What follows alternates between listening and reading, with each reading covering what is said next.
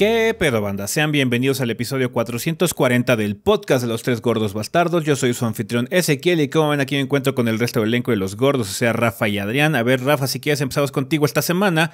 ¿Qué anduviste haciendo en el mundo del gordeo? ¿Qué banda? Pues esta semana estuvimos bien atareados, eh, tanto que eh, desafortunadamente no pudimos hacer stream el martes.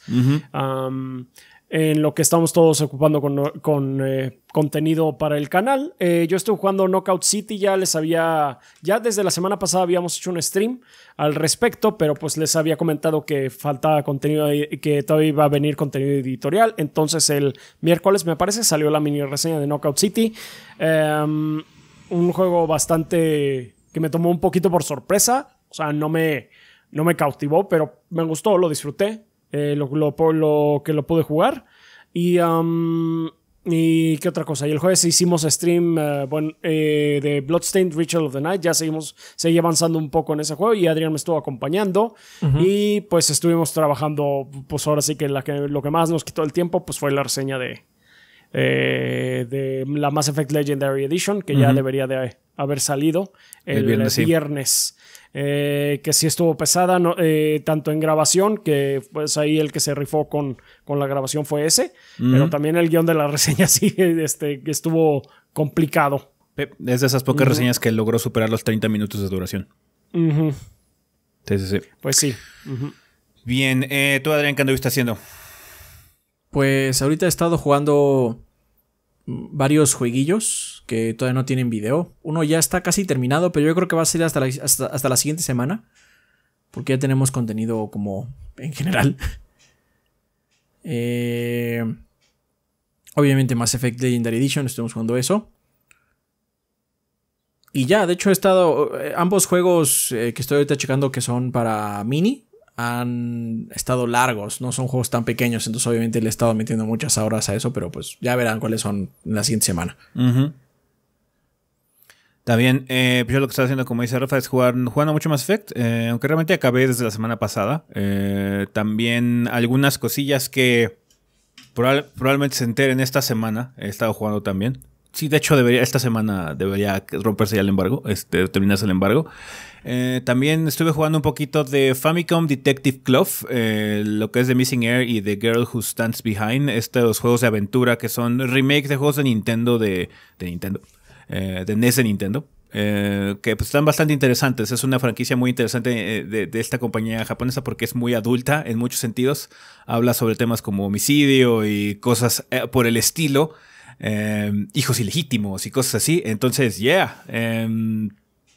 Es, es, muy extraño ver un, un, un, un, este, un juego de Nintendo con alguien apuñalado en el pecho, con un manchón de sangre y una cara de dolor, así cabrona. Pero bueno, ahí está. Están interesantes, pues si lo quieren checar. No son eh, juegos de aventura particularmente complicados porque son de la época del NES, pero está, está entretenido. La, el, el, segundo juego de Girl Who Stands Behind particularmente está bastante bueno. Eh, también algunas cosillas extras eh, por ahí perdidas aquí y allá, pero nada muy significativo. Y jugando también un poco más de Shin Megami Tensei 3 HD Remaster. Que, eh, pues bueno, como les dijimos, iba a tardar un rato más que nada porque también teníamos otras ocupaciones. más quitó mucho tiempo. Entonces, va a haber contenido Shin Megami Banda. No sabemos qué tipo de contenido vaya a ser.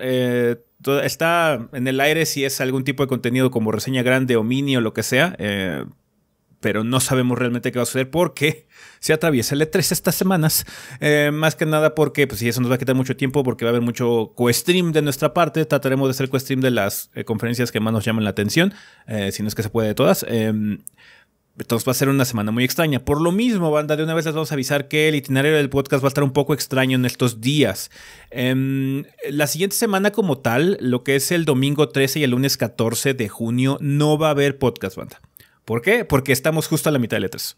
Entonces, cualquier podcast que grabemos es inútil que lo grabemos, porque va a haber muchas noticias. Se vuelve entonces... automáticamente obsoleto. Ajá, y ni modo de que en el, en el E3 empezamos a hablar de otras cosas o noticias que pasaron en la semana, que probablemente haya como algunos leaks o cosas así. Ya lo juntaremos en el siguiente episodio. Hablando del siguiente episodio, el episodio 441, banda, va a estar disponible el jueves o el viernes 18. Va a, tener una, un día de estreno diferente. Más que nada porque lo que queremos hacer es hablar sobre las cosas que pasaron en el E3 lo más rápido posible. Trataremos de adelantarles ahora sí la situación para que esa misma semana tengamos el super gran podcast del E3. Eh, entonces sí va a tener una fecha de estreno eh, completamente diferente a la regular. Eh, básicamente lo que vamos a hacer es aplazar un poco el estreno de ese podcast para que podamos platicar ya de las cosas que se van a anunciar en letras, porque pues, bueno, va a haber mucha mierda de qué hablar. Em, por lo mismo, vamos a dejar de hacer episodio por un rato y vamos a regresar hasta el 27 y 28 de junio. El 442 se va a estrenar el domingo 27 en audio y el lunes 28 de junio eh, en, en, video, banda. Así que ténganlo en cuenta. Eh, sabemos que el itinerario va a estar un poquito extraño, eh, pero es más que nada porque el E3 ahora sí existió y va a estar muy conjunto. Va a haber muchas conferencias en conjunto. Va a haber otras conferencias por ahí perdidas también, EA y cosillas por ahí. Quizás Sony anuncia una por ahí eh, a finales de mes o para el mes que viene. Eh, pero eh, bueno, esa ya la iremos tomando poco a poco. Lo que sí es que lo que es el E3, ese fin de semana desde el sábado, va a estar medio retacado de cosas de que hablar. Entonces, pues preferimos hacer esto de una vez para estar lo más actualizados posible, y no tener un episodio de que, que esté como súper desactualizado. Entonces, ténganlo en cuenta, banda. Eh, el domingo 13 y el lunes 14 no va a haber episodio. Nos vemos hasta el 17 y 18. Y de ahí hasta el 27 y 28 de junio. ¿Va que va? Bien. Pues bueno, eh, ya eh, aclarados esos temas, banda, yo creo que podemos irnos de una vez al sillón porque hay varias cosas de qué hablar.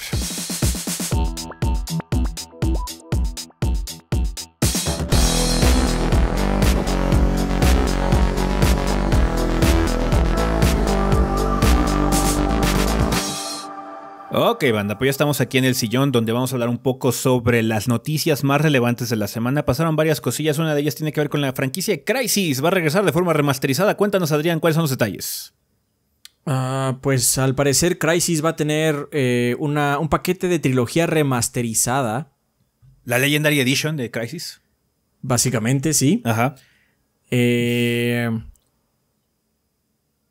está bien, o sea, la primera, el primer Crisis Remaster, de hecho, no no fue tan bien recibida cuando salió por ahí de septiembre en el One y en el Play 4, ¿no? No, parece que tuvo como que errorcillos y cosas ahí que no quedaron eh, perfectamente bien pulidas. Entonces sí, eh, tuvo un poquito de, um, de retroalimentación negativa, sí.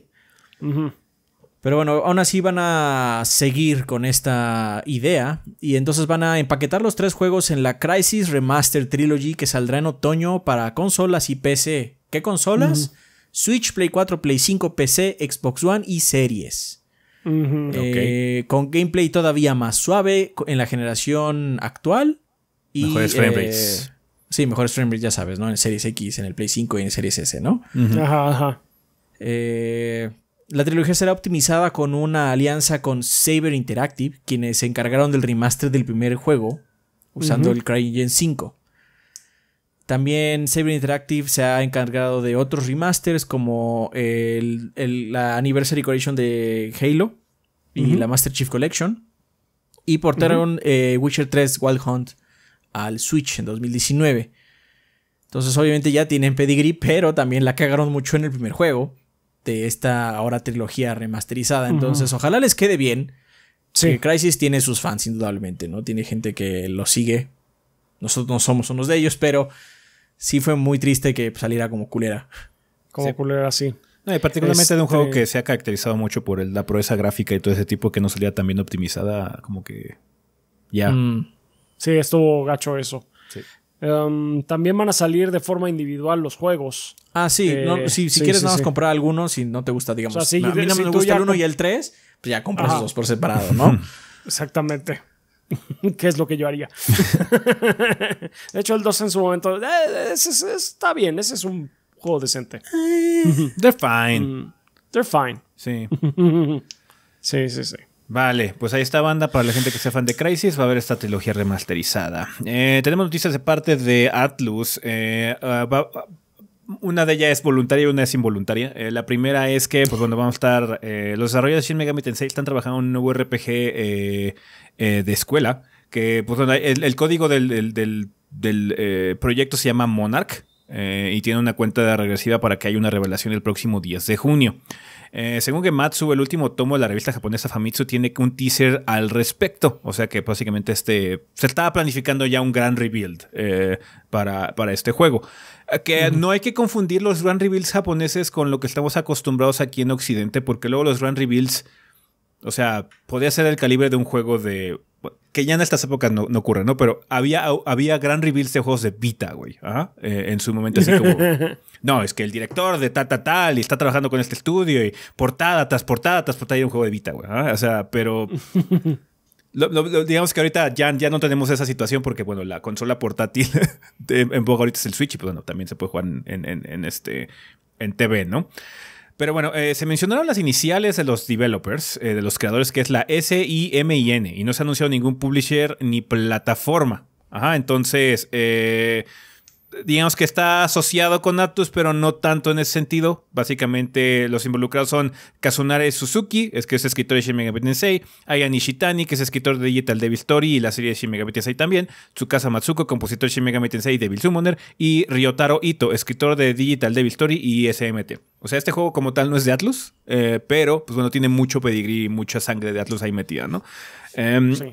No se han anunciado plataformas, eh, quién sabe, te digo, eh, este tipo de juegos luego la escala, este tipo de, de, juegos generalmente lo que sucede es que la escala era muy pequeña, entonces cuando se iban developers de Atlus o Exceed o Chunsoft o lo que sea a otros lugares, generalmente hacían juegos móviles o juegos para 3DS o cositas así. Podría ser un juego de Switch. De hecho, a mí me huele mucho a que es un juego de Switch. No creo que sea algo particularmente elevado. O bueno, si es un, es un juego igual de escala gráfica muy mesurada, anime en muchos sentidos yo creo que va a ser eh, y que va a estar disponible en todos lados. Pero bueno, eh, esperen un, un anuncio de ese calibre. No es un juego triple A ni por nada del sentido, pero eh, pues bueno, son interesante por la gente involucrada, más que nada porque Shin Megami Tensei ha tenido una evolución muy extraña, ha habido cambios muy radicales desde que salió Persona 4, la, las prioridades de Atlus cambiaron muy cabrón. Eh, y pues bueno, este, este, título podría ser bastante interesante porque suena muy old school, muy a principios de PlayStation 2, Shin Megami Tensei. Entonces, vamos a ver qué sucede con, con este anuncio. El 10 de junio vamos a ver eh, cuál es la situación.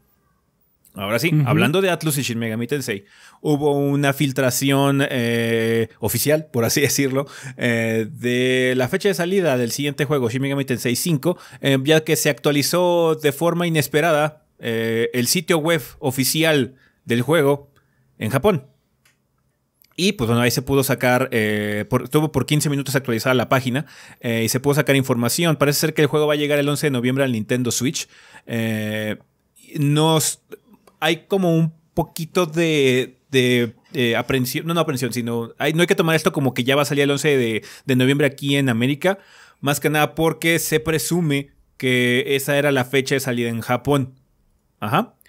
Pero también Atlus y Sega han estado comentando que se están haciendo esfuerzos necesarios para que ya Atlus tenga lanzamientos globales. No así de que, ah, bueno, sale el juego en Japón y luego ocho meses después sale en, en, América, ¿no? Entonces, muy probablemente también esa, esa fecha de salida no toque. ¿ah? pero todavía no está grabado en piedra, en ese sentido no hay ningún tipo de confirmación. Esperamos que en la eh, conferencia o en el evento de Nintendo de E3 tengamos más información de Shin Megami Tensei 5 porque bueno, este juego sí es exclusivo del Switch. Em, ya después eh, se, se, actualizó el sitio de nueva cuenta a la forma original y pues bueno, no hay ningún tipo de confirmación. Atlus no se ha expresado de ninguna forma. Están, están, estamos esperando básicamente la conferencia de Nintendo, pero parece ser que Shin Megami Tensei sí llega este año, por lo menos en Japón. Vamos a ver si sí esa, esa eh, iniciativa que tiene Sega y Atlus de hacer lanzamientos globales ya de los juegos de Atlus precisamente, pues bueno, si se logra este año con Shin Megami Tensei 5, estaría muy padre tener ya el 5 por fin. Eh, este año ya que el título fue anunciado desde 2017. Desde, desde el evento de lanzamiento del Switch. Ajá, entonces ya, ya, ya lleva rato cocinándose. Exactamente. Qué bueno. Pero bueno. Qué eh, bueno, pues sí, qué bueno que parece que va a salir este año. Sí, eh, también había un poquito sobre la. Hablaron un poquito sobre la premisa y cosas así, porque también se filtró la sinopsis del juego. Eh, y suena muy Shin Megami Tensei. de hecho, tiene como mucha similitud al 3. Entonces, pues bueno, estemos al pendiente ahora en el evento de Nintendo. Parece que va a haber más información de este título de Atlus. Bien, también tenemos malas noticias. King of Fighters se retrasa. Cuéntanos, Rafa, ¿cuáles son los detalles? Pues sí, desgraciadamente ya hay un retraso de King of Fighters que está planeado para salir en algún punto de este año, pero pues ya no. Ya va a salir eh, en el 2022. Se retrasó para el, el primer cuatrimestre del eh, próximo año. Eh, pues por complicaciones que se han dado por la pandemia en Japón. desgraciadamente ahorita Japón está teniendo, ah, creo que un repunte sí. en los casos de, de COVID. Entonces sí se han complicado mucho las, las cuestiones allá. Eh, comentó Yasuyuki Oda, que es el productor de King of Fighters, eh, la meta en tiempo que queríamos alcanzar al inicio ha sido afectada por el incremento de casos de COVID-19 en Japón. Hemos tomado la decisión de que ante todo la calidad del producto, del producto importa más y con esa decisión hemos alterado la ventana de lanzamiento. Eh, pedimos sinceramente su amable paciencia y comprensión mientras nuestros equipos de desarrollo continúan trabajando duro en King of Fighters 15 conforme se acerca la nueva fecha de lanzamiento. Entonces, pues ni modo, banda, eh, estamos esperando este juego de peleas para este año, pero pues ni, modo, tendremos que esperarlo ya para el próximo. Ahorita más que nada importa que los equipos de desarrollo puedan cuidarse y pues que no haya más enfermos. Y que como dicen, al final la calidad del producto sale mejor posible el día del lanzamiento, ¿no? Sí, exactamente. Vale, pues sí, eh, es lamentable, pero este, pues no es comprensible. Estamos en una situación, particularmente para los desarrolladores japoneses, eh, que puede ser muy complicada. Eh, hablando de otro retraso, eh, tuvimos mucha información de parte de Sony en estos días, más que nada porque el señor Herman Holst, que es ahorita el director a la cabeza de Sony PlayStation Studios básicamente, eh, dio una entrevista bastante larga y de ahí salieron varios nuggets de información. Cuéntanos, Adrián, el que pues, más causó furor fue la situación de God of War Ragnarok. ¿Qué onda con God of War? Ah, pues antes de la perdón, antes de la entrevista con Herman Holst, eh, el mismo Santa Mónica sacó un comunicado diciendo que el desarrollo de God of War Ragnarok va a ser pospuesto hasta el 2022 para mantener la seguridad y el bienestar del equipo. Es decir, eh, no quieren hacerles crunch, básicamente, no es lo que comentaron. Eh, también dijeron que desde el lanzamiento del teaser de God of War del año anterior eh, nos ha sobrecogido el cariño que nos ha mostrado la comunidad. Estamos increíblemente agradecidos en ver tanta gente emocionada por experimentar el nuevo capítulo en el viaje de Kratos y Atreus. Continuamos enfocados en entregar un juego de alta calidad mientras mantenemos la seguridad y bienestar de nuestro equipo, compañeros creativos y familias. Por ello, hemos tomado la decisión de cambiar la ventana de lanzamiento hacia el 2022. Esto a nosotros no nos llega en sorpresa. Porque, inesperado. inesperado. Porque cuando, lo anunciaron, nosotros dijimos, eso no va a salir en el 2021. lo dijimos. Back then we knew. Así es, y pues obviamente no pasó, ¿no? No, y menos con toda la situación, con el panorama mundial, pues menos iba a ocurrir. Entonces, Así es. pues sí. Lo inesperado es lo que surgió con respecto a la entrevista de Herman Holst. Ah, sí. Entre de las muchas cosas que se dijeron, que las vamos a mencionar más adelante, pero bueno, esto es lo que concatena ambas noticias, es que Herman Holst comentó eh, que el PlayStation 4 continúa, continúa, siendo parte de los planes de la familia Sony PlayStation. Eh, no puedes, eh, a palabras de, de, la cabeza de PlayStation Studios, dice, no puedes construir una, no puedes, construir una comunidad de 110 millones de usuarios de PlayStation 4 y luego abandonarlos. Sería malo para ellos y francamente malo para nuestro negocio. Continuaremos desarrollando títulos para PlayStation 4 y PlayStation 5, pero igualmente también es importante tener piezas para el PlayStation 5. Por eso también contamos con juegos como Returnal y Ratchet exclusivas de consolas. Pero eh, tenemos cosas para ambas generaciones. Em, hace mención de Horizon Forbidden West, que bueno, ese ya lo sabíamos, ese era el que estaba... Eh, era conocido por el público. Sí. Pero también integró a, eso, a esa lista a God of War Ragnarok, y a Gran Turismo 7. Eh, Gran Turismo 7 fue así como, ok, supongo, pero obviamente el que más sonó fue Ragnarok, ¿no? Sí. sí. En especial porque, bueno, lo que sucede ahí es que, bueno, no se había mencionado nada de esto y pues...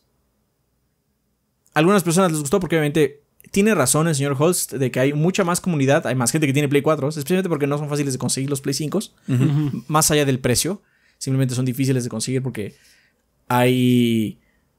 Sobre demanda. Pues más bien, también hay un problema con los microcomponentes. No se están haciendo. Hay falta de, hay falta de ellos para hacer cualquier cosa, no solo PlayStation. Se traduce en una sobredemanda. Hay más demanda del producto que hay disponible. Entonces es una sobredemanda. Exactamente. Entonces, este.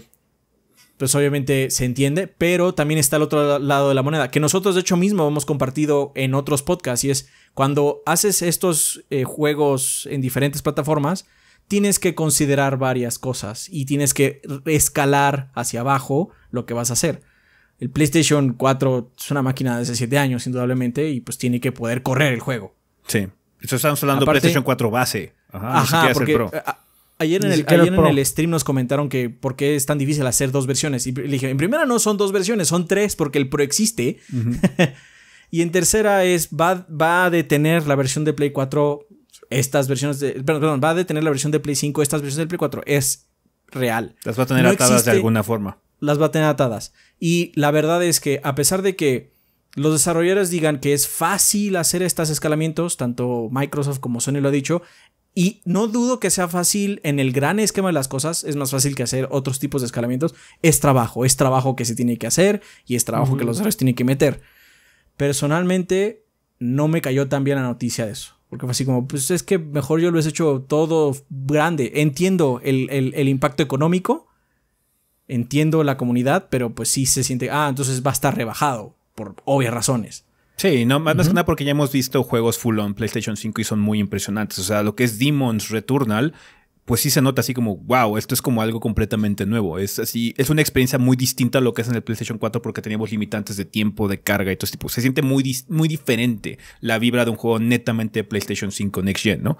Em, Todavía falta ver, por ejemplo, todavía falta, de hecho, ese es el problema que tiene ahorita Microsoft. Microsoft no tiene un juego realmente netamente next gen que se sienta así como, güey, es que claramente esto es para el Series X, ¿no? O sea, de Medium está muy padre, pero aún así de Medium no tiene así como algo particularmente interesante que haga uso del SSD o tiempos de carga o ray tracing acá como locochón. No, no hay nada como realmente muy impactante, ¿no? Em, que eso es lo que queríamos ver con las franquicias de Sony, ¿no? En, ese sentido, porque el speech que tuvieron al inicio de la generación era muy marcado de que, pues sí, sí creemos en generaciones Vamos a adelante, ¿no? Pero bueno, obviamente muchas cosas se van modificando a lo largo del tiempo. La situación de la pandemia, la sobredemanda que tiene ahorita eh, la consola, la crisis que tenemos de chipsets, todo este tipo de cosas pueden cambiar mucho las situaciones, pero eso a final de cuentas le mete el pie también a los developers. No sabemos realmente si este juego fue planeado originalmente como un juego exclusivo de Play 5 o si desde siempre también iba a salir del PlayStation 4, ¿no? Además, ya estamos hablando de 2022, güey. Estamos hablando del año que entra. No sabemos ni siquiera si es a principios o a finales. Entonces, todavía vamos a seguir eh, con el ancla del PlayStation 4 hasta el finales del 2022. Entonces, sí suena. Eh, en, esa, en ese apartado suena negativo, un medio sí, decepcionante. Sí, como dices, no sabemos eh, si esta decisión ya estaba eh, sentada desde que se anunció el eh, God of War Ragnarok o si surgió a partir de toda esta crisis de componentes que hemos estado experimentando y que no tanta gente ha podido conseguir el PlayStation 5. Entonces, pues está apelando a que, como él dice, hay 110 millones de usuarios de PlayStation 4. Bueno, pues entonces vamos a seguir vendiendo software ahí también. Que pues también es, el otro lado de la moneda. O sea, se le celebra mucho también a Microsoft el hecho de que sea muy consumer friendly. O sea, nos gusta o no, esto es consumer friendly, a final de cuentas. Sí, obviamente le va a tocar a más personas. Ajá, entonces. Eh, Seguramente muchos estarán felices porque van a poder jugarlo. Indudablemente. Pero para nosotros, en cuestión de desarrollo, fue así como hubiera estado más padre si hubiera sido full on next gen, ¿no? Pero, obviamente, unas y otras. Así de sencillo. Eh, mira, es, es posible llevar algún tipo de impacto. Si lo planeas bien, puedes realmente diferenciar mucho la versión de la generación actual. ¿no? De hecho, pasó con Miles Morales. Miles Morales es un juego cross-gen, pero también fue uno de los juegos más impactantes Next Gen por cómo cargaba así en putiza, ¿no? Pero bueno, eh, eh, ese fue el, uno de los primeros juegos que teníamos. Realmente no, no necesitaba mucho para impresionarnos hasta cierto punto. Salió en el 2020, no en el 2022. Eh, sí. sí, pero bueno, esa es la realidad en la que vimos. De hecho, muchos de los juegos de third party también siguen eh, eh, con esa tendencia de, ¿sabes qué va a ser? Generación pasada y generación actual. Por lo mismo, porque no quieres perder ese pool. O sea, hay muchísimos PlayStations allá afuera. Muchísimos PlayStation 4. Entonces sí es un, un pedazo del pastel muy significativo. Espero que no sigamos en el 2023 hablando todavía de versiones de Play 4, porque así como, güey, no mames. What is the fucking no, es que también, o sea, Santa Mónica, y bueno, ya el crunch es algo que hemos hablado varias veces, y eh, eso genera crunch. Ajá. Muchas versiones siempre es más trabajo. Entonces, bueno, Gran Turismo Sobre todo si tienen que reacondicionarlo. Eh, o sea, la neta, Polyphony es tan malo haciendo desarrollo y es tan lento que no me sorprende que realmente sea un juego de Play 4. Así de, lo están ay, sí, haciendo aquí para Play 5. sí, ya me medio me lo esperaba, pero Gran Turismo 7 lo único que va a tener es que va a tener loading times más vergas en Play 5 y ya, Ajá, la seguramente va a ser lo único. Pero pues, ¿qué tal si el Pero bueno, Santa este, Mónica es estaba el que me pensado- duele. Sí, ¿qué tal si God of War estaba pensado para Play 5 y tomando en cuenta esos tiempos de carga eh, más disminuidos y ahorita que no, pues tienes que escalarlo para God of War 4, puta madre. Obviamente esto, ¿Qué hacemos con lo que tenemos ahora? obviamente esto se va a aclarar cuando salga. Igual el juego es una puta obra maestra, igual es caca, quién sabe, ¿no? Realmente cuando salga el juego podremos definir realmente qué tan bueno es o no. Ahorita nada más es una especulación, pero siendo, siendo eh, continuos con lo que hemos dicho anteriormente, así como a nosotros nos gusta más que se haga un corte. Es Y que, se es que siga ese es el punto, o sea, está, está, está la balanza, ¿no? Sí, por un lado están los 110 millones de PlayStation 4 allá afuera, pero por otro están los güeyes que ganaron, gastaron 14 mil pesos en un PlayStation 5, que quieren ver un juego de PlayStation 5 en su PlayStation 5. Ajá, entonces, eh, tiene que haber un punto en donde ya basta, o sea, si está muy padre, tío, si es muy pro consumer, ajá, es, es- es de las cosas que se le alaba mucho a Microsoft, el hecho de que puedas jugar en los juegos este, del Xbox, One- del Xbox bueno, los juegos más nuevos de marca Xbox, también en tu Xbox One, ¿no? Y está chido. Para la gente que no tiene el capital para poder entrar en la nueva generación de consolas, o sí lo tiene, pero nomás no puede conseguir una, eh, está muy vergas para que no se queden atrás o se pierdan de estas experiencias nuevas. Está padre. Por un lado está muy padre. Pero por el otro tiene que haber un punto en donde digas, ya basta. No podemos seguir atados a, a esta tecnología tan vieja. Entonces, em, eh, está el balance. Depende de cada quien. Cada quien tiene su opinión. Nadie está mal realmente. No. Eh, los que sufren más son los desarrolladores, a final de cuentas, como dice Adrián. Eh, es, es desafortunado porque es- a final de cuentas es más trabajo para ellos. Es una situación extraña. Pero bueno, la ventaja que tienen estudios como Guerrilla y Santa Mónica es que tienen una red de protección muy cabrona. Todos los PlayStation Studios se ayudan continuamente. Entonces, el expertise que ya tiene Insomniac, que Insomniac sacó Miles Morales y está a punto de estrenar Ratchet y Clank. Así como, güey, esos, esos están muy cabrones, ¿no? En, en muchos sentidos. Entonces, esos developers tienen por lo menos ese backup. Ajá, pero hay otros que no tienen ese desmadre, ¿no? Puedes pas- puede pasarles el Cyberpunk, el hecho de que tener que hacer siete putas versiones joda el producto final, ¿no? A final de cuentas. Pero ya veremos qué sucede. No es una noticia particularmente positiva ni negativa, es una noticia que depende de ti, realmente cuál es tu perspectiva de lo que quieres de esta nueva generación de consolas.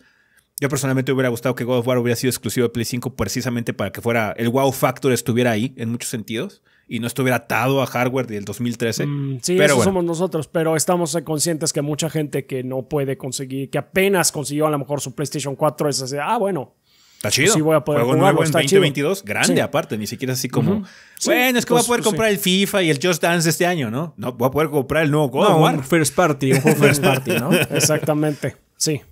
Hablando de estas es. eh, alianzas y trabajos en, eh, en conjunto de los PlayStation Studios, eh, Herman Holtz comenta que tienen ahorita 25 títulos en desarrollo, de los cuales casi la mitad son nuevas IPs. That's good. Pero aquí viene la situación, ¿no? Eh, anteriormente mencionó que obviamente tienen alianzas con estudios como Haven y Firewalk, ¿no? Son alianzas, en, mi- en- en palabras del señor Holtz, dice, son alianzas muy emocionantes. Podrías hacer una distinción entre equipos de desarrollo que son parte de Sony como Naughty Dog, Insomniac, Media Molecule, Soccer Punch y demás, y equipos de desarrollo que trabajan como asociados con nosotros, haciendo referencia a Haven y Firewalk, así como equipos con los cuales hemos trabajado con el paso de los años como Kojima o From Software. Entonces, él, para mí, para, para Herman Holtz dice, para mí no hay diferencia. Todos estos son estudios PlayStation. Somos una organización guiada por creadores a fin de cuentas. Entonces ahí lo que dio a entender es que los llamados estudios Second Party los están usando como parte del paraguas de los PlayStation Studios, ¿no? Que eso yo lo veo como algo positivo por lo que acabo de mencionar, la red de protección y de soporte que tiene Ah, sí, PlayStation sí, sí. Studios. No, me refiero a los 25 títulos en desarrollo.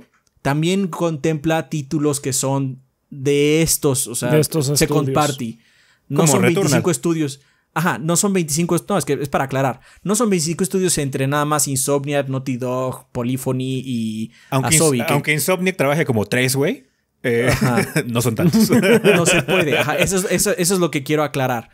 Muchos de estos títulos son de estudios second party. Returnal es una de las nuevas IPs. Ajá. Mm. Entonces, igual esperen una nueva IP de un desarrollo que quizás no conozcan tanto, porque Media Molecule tendrá un juego. Bloodborne. obviamente tiene- Bloodborne, güey, ya. Make it happen. I don't care, ya dame Bloodborne 2, I don't care, man. Entonces, bueno, de estos 25 títulos que van a salir eh, de alguna forma como brand PlayStation, marca PlayStation, eh, están ahí el champurrado de eh, eh, estudios first party y los que ellos consideran second party, ¿no? De hecho, esos estudios, son, es- esos juegos en esa situación son como los que tienen más posibilidades también de llegar a PC de forma un poquito más acelerada, ¿no? Como lo que pasó con Death Stranding, porque Death Stranding fue precisamente muy promocionado por Sony, bla, bla, bla, publicado por Sony en PlayStation, pero seis meses, un año después fue publicado por 505 Games en PC, entonces no tuvimos que esperar tantísimo como con Days Gone, hecho, ¿no? Fue menos, ¿no? Fue menos de un año. Sí, fue como 10 meses. O sea, fue así como, ¿sabes qué? Estrenamos en octubre o noviembre y salió en julio. Una cosa así. Fueron como 6, 7 meses nada más la espera de Death Stranding para PC, ¿no? Entonces, hey, quizás el siguiente juego de Haven, que es el estudio de Jade Raymond, em, ¿sabes qué? Salga en Play 5, Play 4, lo que sea, y 6, 8 meses después también llega a PC, ¿no? Que sea más acelerado la situación, porque sabemos que Sony va a seguir publicando sus first party eh, poquito a poquito en PC, pero estamos hablando de dos, tres años después de que se estrenaron para que se haya cierto valía de que lo Sí. compre su consola, ¿no? A final de cuentas. De hecho, de eso habló también la cabeza de PlayStation Studios. Dice, hablando ahora sí directamente de los juegos que son first party, mencionaron que, bueno, seguirán explorando la PC, eh, pero que el ecosistema PlayStation sigue siendo el mejor lugar para conseguir tus juegos cuando salgan. Entonces, eh, pues básicamente lo que da a entender es que la estrategia va a seguir siguiendo la misma. Cuando el juego salga va a ser PlayStation y los que ellos crean que vale la pena pasar a PC, que pues Van- esta, van esta situación PC. de cuáles son los que ellos creen es Uncharted bastante 4 for some extraña. fucking reason. Ajá, sí. Eh, ahí pues van a decidirlo, ¿no? Entonces, ahorita lo que tenemos es que ha habido dos, ¿no? Horizon y Days Gone. Days Gone. Pero no ha habido nada ahorita de, no sé, Ghost of Tsushima, De vamos hecho, a decir. debía haber sido Tsushima, güey. Debería ser la Tsushima neta, que sigue. la neta de haber sido Days Gone, de haber sido Tsushima, pero bueno, ok. Ese es, ese es el punto. Ellos deciden cuánto tiempo se tardan en decir, who knows. Pero van a ser unos dos años, tres años en el que va a estar en PlayStation y demás. De hecho, esto va mucho de la mano con eh, lo del PlayStation 5, porque bueno, seguramente hay gente que se enojó ahorita porque dijeron, es que yo sí voy a poder jugar God of War porque, ese, porque a ustedes gordos no les gusta esa idea de que yo pueda jugarlo, ¿no? Hay gente que se siente atacada de esa forma y es, no, es que no lo estás viendo de esa forma. Nosotros nunca decimos que tienen que jugar los juegos día uno. En algún momento, si te interesa, te vas a comprar el Play 5 o el Xbox Series y ahí va a estar el juego esperándote. No hay necesidad de jugarlo ya. Cheaper solo than que, ever, pues, because not Nintendo, man. O sea, puedes jugarlo cuando lo puedas jugar y va a estar más padre si solo fuera Play 5. No, bueno, en este caso de lo PC, pues va a ser bueno, va a estar un rato exclusivo algunos títulos, quién sabe cuáles. Y ellos cuando decidan bajo sus gráficas, que no sé cuáles son tampoco, algunos van a salir en PC también. ¿Cuáles algunos? No sabemos. De hecho, ahorita nada más hay anuncio, pues obviamente Days Gone y de eh, Horizon, que ya salieron. Y quizás Uncharted 4. Pero sí va a haber más títulos. Eso está confirmado. Va a haber más títulos de PC, perdón, de PlayStation en PC. Patapón, perro, confirmado para PC, perro. Ya. No estaría mal. O sea, Patapón es un juego divertido. Y va muy en cara con juegos indie de la plataforma más vieja que existe, ¿no? Hay muchos juegos indie en la PC, muy obvio. Y Patapón no lo veo como lejos de estar ahí. Podría estar Gravity Rush, no sé, cuál- no, puede estar todos. O sea, el punto es que puede estar todos, pero bueno, ellos deciden cuáles son, no sé cómo los eligen. Yo creo que, o sea, cosas de Japan Studio, olvídalas porque. En, en paz, Japan- en pa- Japan en paz descanse. está- Ajá. En paz El, sustituto, de hecho, va a ser Asobi. Ajá, de hecho también comentaron que Asobi se va a hacer más grande. Eh, ahorita le están apostando a que Asobi crezca y se use como piedra angular eh, su universo de Astrobot. Van a ser como un poco más grande o más intenso, un juego de Astrobot más completo, por así decirlo. Mm. Estaría padre. Entonces, bueno. que sí, porque eh, ese juego o sea, es it's cute. It's cute as fuck. O sea, un juego de Astrobot más full on, Sí. o sea, como el VR que hicieron, pero usando ya del DualSense, sino que no nada más sea un pinche showcase de la marca PlayStation, sino sea Sí, un juego, un juego de- plataforma chingón acá con controles Ese chingones. fue un juego que básicamente, o sea, denotó no solo pues eh, las posibilidades que tiene el, el- es, es el showcase del DualSense, pero también denotó un poquito de qué es capaz eh, Asobi y en sí de, con, con- cuando tiene una idea enfocada. Y pues le, le quedó bastante bien. Es un juego muy entretenido. O sea, no es la gran maravilla en cuanto a gameplay, pero pues, está, está cute. Está fácil el platino. No muy mames, el fácil. platino está de. el platino está facilísimo. sí. Ya como datos así finales, eh, comentó que Ben Studio sí está trabajando en una nueva y emocionante IP, o sea, no Days Gone 2. O sea, no Days Gone. O sea, no Days. Gone. Thank God. Good, good, pero good, good. básicamente el estudio está tomando lo que aprendió de Days Gone para hacer mapas, eh, un sistema de mapa abierto, para implementarlo en este nuevo juego que van a hacer. ¿Qué aprendimos, más chis- ¿qué aprendimos ¿Qué de desarrollar Days Gone? No hacer Days Gone. Bueno, pues Perfecto. básicamente es lo que, lo que pudimos rescatar de Days Gone lo vas a poner en el otro juego. Y terminó diciendo, estoy feliz por ellos. Good for them. Bien por ellos que ya no están haciendo Days Gone. Y por último, eh, dice que, bueno, las nuevas IPs o las nuevas propiedades intelectuales son importantes para la marca PlayStation. Son la sangre del gaming. Por eso, eh, pero solo es un aspecto de nuestra estrategia. Últimamente quiero que PlayStation Studios sean atrevidos y tomen riesgos. Quiero que adoptemos el legado de PlayStation y empujemos los límites del gaming, que continuemos haciendo juegos que importen y que probablemente no se verían en otros lados. Y pues sí es cierto, o sea, al final del día los juegos de Sony son muy diferentes a los juegos de Nintendo y son muy diferentes a los juegos de Microsoft. Cada uno tiene como su sabor, su filosofía diferente y pues obviamente Sony va a mantener esa, ese sabor particular que los caracteriza. Lo cual es bueno. Es, mejor tener distinción a la marabunta de juegos que salen de Ubisoft que pues, son muy similares unos a los otros, ¿no? Sí, sí, sí. Entonces... No, pues, o sea, de una forma u otra nos, no- nos pega, ¿no? O sea, cuando, cuando vimos el pinche gameplay de Horizon fue así de, güey, that, that shit looks tight. Se ve apretado sí, ese desmadre. ese se ve verga, ¿no? Ajá.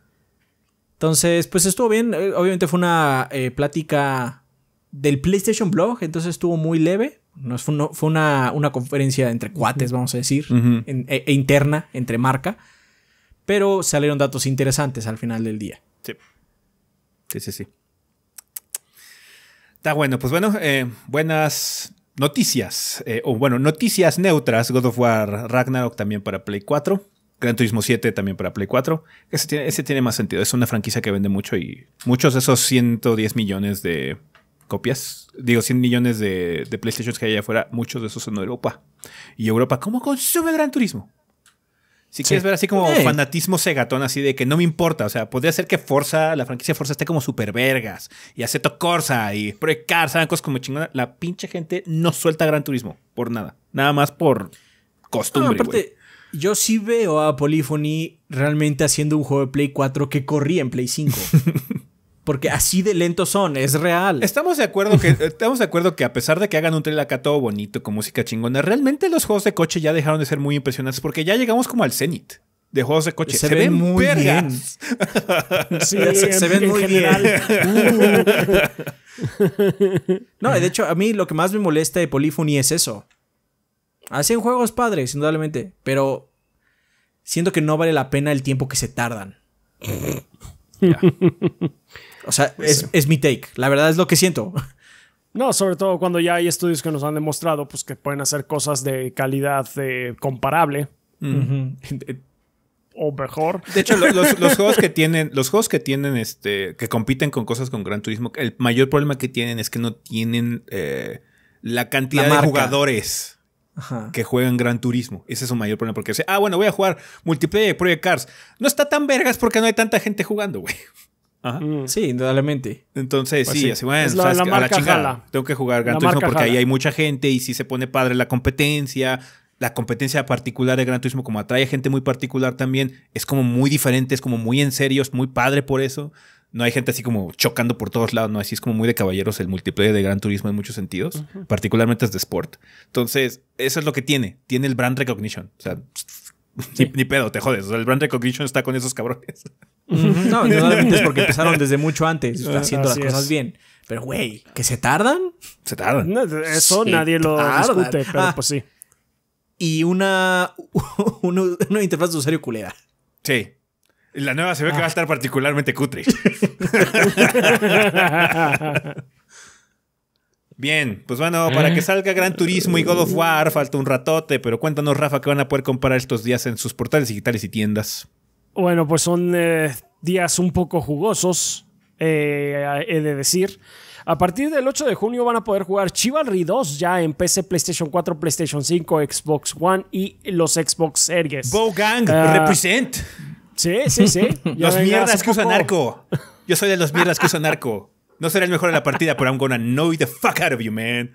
¿Qué me mató? Una flecha, perro. Eso fue lo que te mató. Supongo que son ellos o los que lanzan. Bueno, no sé si en el nuevo esté también los que lanzan piedras. No sé si es que hay solo hay cuatro hay cuatro vertientes, hay cuatro clases generales en Chivalry 2. Hay una que es la de rango, que es la de arco. No sé si desbloqueas eventualmente la onda. La onda. Onda. Pero el arco está cabrón porque el poder del arquero es sacas un bracer, sacas una pinche eh, un pebetero gigante para que puedas poner el eh, quemar tus, tus- Para pre- tus prender flechas, la- para la prender las flecha, flechas. Así como Qué pedo. ¡ah! Las- ¡Ah! lo, lo malo es que, lo malo es que cuando te descubren así, ¡ay, está el arquero! Te va, te va persiguiendo dos güeyes y tú corres como idiota porque no tienes forma de defenderte. No, no tengo nada.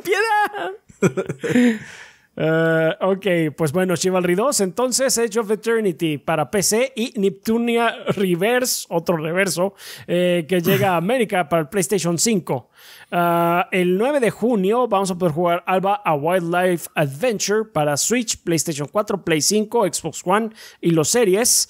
Ah, Fantasy Star Online 2, New Genesis. Aquí en Norteamérica va a llegar a PC, Xbox One y el Xbox ¿Estaba Series. en beta o qué, Microsoft. qué- qué es esto de, de Fantasy Star Online? Es como una nueva versión. O sea, es como. Ah, ya. Piénsalo como nuevo. Ok. Sí. Sí, porque, o sea, ya lleva Este- rato, ¿no? Que la gente puede jugar Fantasy Star, ¿no? Sí, sí, sí, pero esta es como una, una versión. Es otra versión. Ok. Es la que sigue. Ya. Así es. A ver, permítame, porque este juego está, está mal. Sega Online Research and Development. No creo que sea ese Yo el creo, que es juego. el, yo creo que es el developer de Fantasy Star Online. Sí, yo creo que es el developer de, de Fantasy Star Online. Ahorita les digo cuál es. Este. Fantasy Star Online. No, creo que fue. Y creo que se me traspapeló. Ujú. Sí, es nada más el este. El, Es el developer. developer. Sí, no, no, no tiene nada que ver. A Sega Online Research and Development. Finalmente lo podremos jugar. Whatever that is. no. Es, El es 10 de una, junio, es sí. pinche interfaz de comando del Master System, güey. A huevo. Bueno, no, del Genesis, porque Ah. el Genesis tenía modem. Sí, sí, sí. Bueno, eh, el 10 de junio vamos a poder jugar eh, Chicory, a Colorful Tale de PC, Mac, PlayStation 4 y PlayStation 5. Ya va a salir el DLC de Final Fantasy VII, el Final Fantasy VII Remake Intergrade. Que también es la versión para PlayStation 5 de Final Fantasy VII. Versión para Play- PlayStation 5 de Final Fantasy VII banda. Acuérdense que este DLC, si no tienen la versión de PlayStation 5 de Final Fantasy VII como tal, no lo van a poder jugar. Este no está para Play 4. Es todo. Ninja Gaiden Master Collection va a salir para PC, Switch, Play 4 y Xbox One. Hashtag reseña de Adrián. Yes. ¿Cuál? la de Ninja Gaiden Master Collection. ¿Qué? ¿Qué? ¿Perdón? ¿Qué? ¿Cuál? ¿Qué? ¿Qué? No, ¿qué? Ah, va a ser súper padre. Va a más ser, alto. va a ser súper padre cuando recibamos el mail y estemos en una llamada de Discord y Adrián se desinfle cabrón. Ahorita Uh, estoy jugando ¿Qué algo- crees que acaba de llegar, Adrián? Y No para mames, el Switch, algo güey. larguísimo. Estoy jugando algo larguísimo. No mames. Y para el Switch, Adrián. Ah, mi Switch empezó a tener el drift. ¿Ya? Ah. Ya, Uh. ya empezó a dar problemas con esa madre. Eh, we need new Joy-Cons, pero bueno. Este. Ok. El 11 de junio también va a estar Game Builder Garage para el Switch. Guilty Gear Strife ya sale finalmente para PC, Play 4 y Play 5. Y Ratchet y Clank Rift Apart, exclusivo del PlayStation 5. No, pues sí, jugosa la semana, ¿eh? Jugosa semana. Entre Guilty Gear y Ratchet y Clank, además de Fantasy Star Online 2, que pues bueno, yo soy, yo soy muy ignorante con respecto a este juego, pero parece que es un lanzamiento importante, entonces, yeah. Y Chivalry 2. Pues, te Bow digo Gang. que es como- Bow Gang. Chivalry 2, este, el, inter- el, el, El Intergrade para el también. Chaps. Este, ya. Ninja Gaiden para Adrián. No. He's screaming his no niggas, man. Hable más Podría fuerte no que traigo una llegar. toalla. pod- Podría no llegar. Podría no llegar. Es- pues eh, esperemos que no sea así por, por tu bien mental, Adrián. No mames, es que ahorita. Este juego larguísimo, eh. Larguísimo. Está bien. Vergas. Pues sí. Pues sí, una semana Bueno. muy cargada, banda. Eh, todos los juegos son los juegos de la semana. Excepto. Hasta Chicori. Eh, también, está Sí. Chicori. Le damos también a Chicori. Lo, lo- lo- permitimos. Bien, pues una banda sería todo con respecto al sillón, así que vamos al tema de la semana.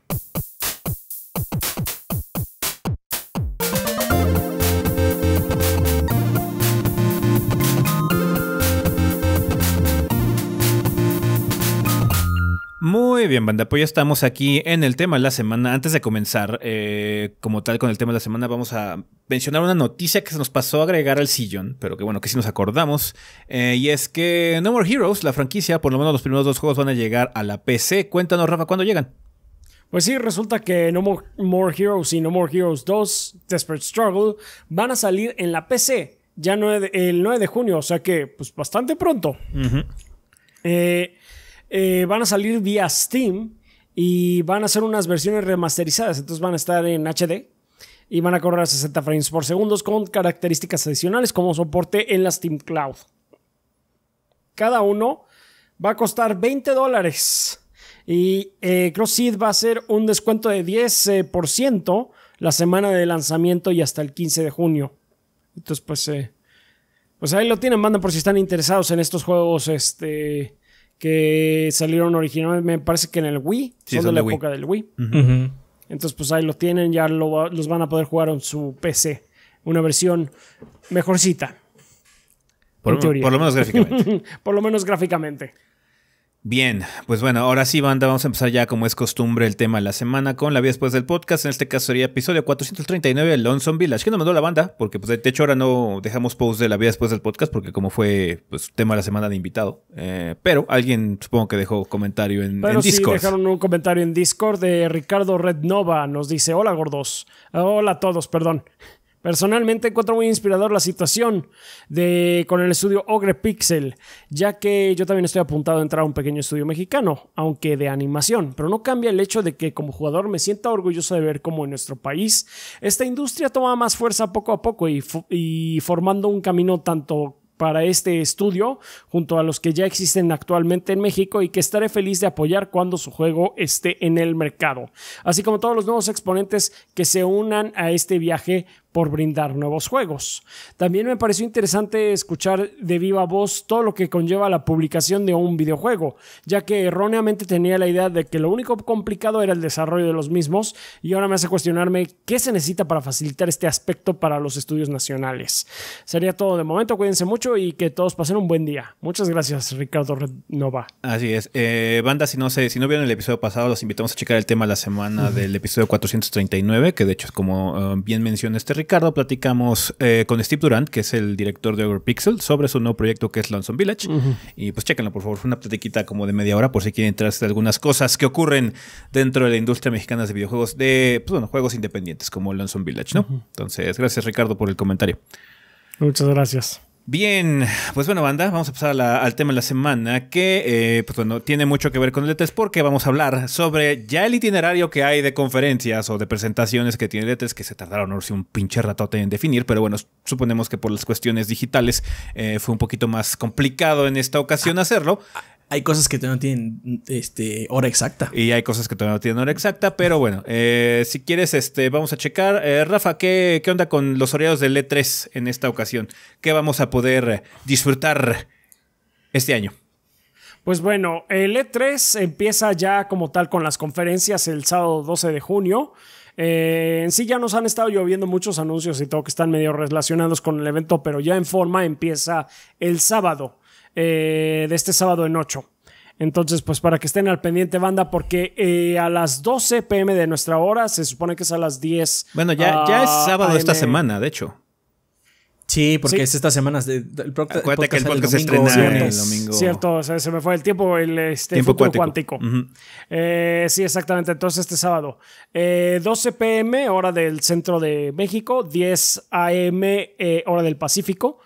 Uh, van va a empezar el, el show eh, a esa hora eh, y van a tener ese día Ubisoft y Gearbox Entertainment van a tener eh, presentaciones. De la que más tenemos de- de- detalles es de la de Ubisoft, que es Ubisoft Forward, que va a empezar como tal a las 2 pm, va a tener su pre-show a la 1 pm va a haber noticias hasta donde sabemos, así de que algo concreto.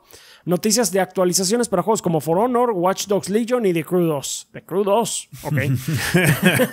Güey. Güey. Sure, ¿qué dog, pedo? sure. bueno, ok. Sí, me, me sorprende, pero pues no, ya no diré más. Eh, el evento principal va a tener footage del siguiente Tom Clancy's Rainbow Six, que es un co-op que antes se conocía como Rainbow Six Quarantine. Ah, o sea, sí le van a cambiar el Sí le nombre. van a cambiar. Ah, Así, sí. Sí, sí le van a cambiar el nombre. este, y también va a haber un deep dive al juego en el post-show, que el po- post-show comienza a las 3 pm. Entonces eso nos, eh, dice que eh, la presentación va a durar nada más una hora. Ah, y también se especula pues que vaya a haber apariciones de alguna forma de Far Cry 6, eh, Riders Republic y posiblemente contenido nuevo para Assassin's Creed Valhalla y Rainbow, Rainbow Six Siege. Skull and Bones no existe. Skull No, and no, Bones. Skull and is Bones. Bueno, ya sabemos, ¿no? M-I-A. De- de- de- desde que dijeron que no iba a salir nada de este año en, el, en la junta de inversionistas, fue así como Está muerto. Skull and Bones no va a ser mencionado de ahora hasta el próximo año. Hasta el próximo año, exactamente. Muy bien, eso es por el sábado eh, 12 de junio. El domingo 13 de junio, porque sí, la presentación, las presentaciones continúan en domingo, va a haber presentación de Microsoft, de Square Enix y de Warner Bros. Eh, creo que la más eh, grande e importante va a ser la de Xbox y, Be- y Bethesda, porque acuérdense que van ya conjuntas. Pues es que son Eh, una sola marca ya. es una sola marca ya. Entonces, Xbox y Bethesda Showcase va a empezar a las 12 pm a mediodía. Y después de eso, va a haber un Square Enix Presents, la presentación de Square Enix, que es a las 2.15 pm. Eh, va a ser un show de 40 minutos eh, en el que creo, parece que se van a estar enfocando mucho en sus eh, propiedades intelectuales occidentales, porque van a presentar un nuevo juego de Eidos Montreal. una Que los rumores son que es un juego de Guardianes de la Galaxia. De hecho. Ok. Sí, es lo que... Supongo ¿qué que ya pagaron la IP, ¿no? Pues sí, ya que. Actualización de Babylon's Fall eh, de, parte de Platinum Games. Va a haber un vistazo a Life is Strange True Colors y a la colección rema- remasterizada de Life is Strange. Y van a ver detalles de Black Panther, War for Wakanda para eh, Marvel's Avengers, que es otro contenido de DLC. Eh, pues que Dios los bendiga porque siguen intentando. Y pues sí, nada de Final Y- Fantasy XVI. No creo que vaya a haber de, de Final Fantasy Pues nada confirmado por lo menos. Por lo menos no confirmado. Em, muy bien.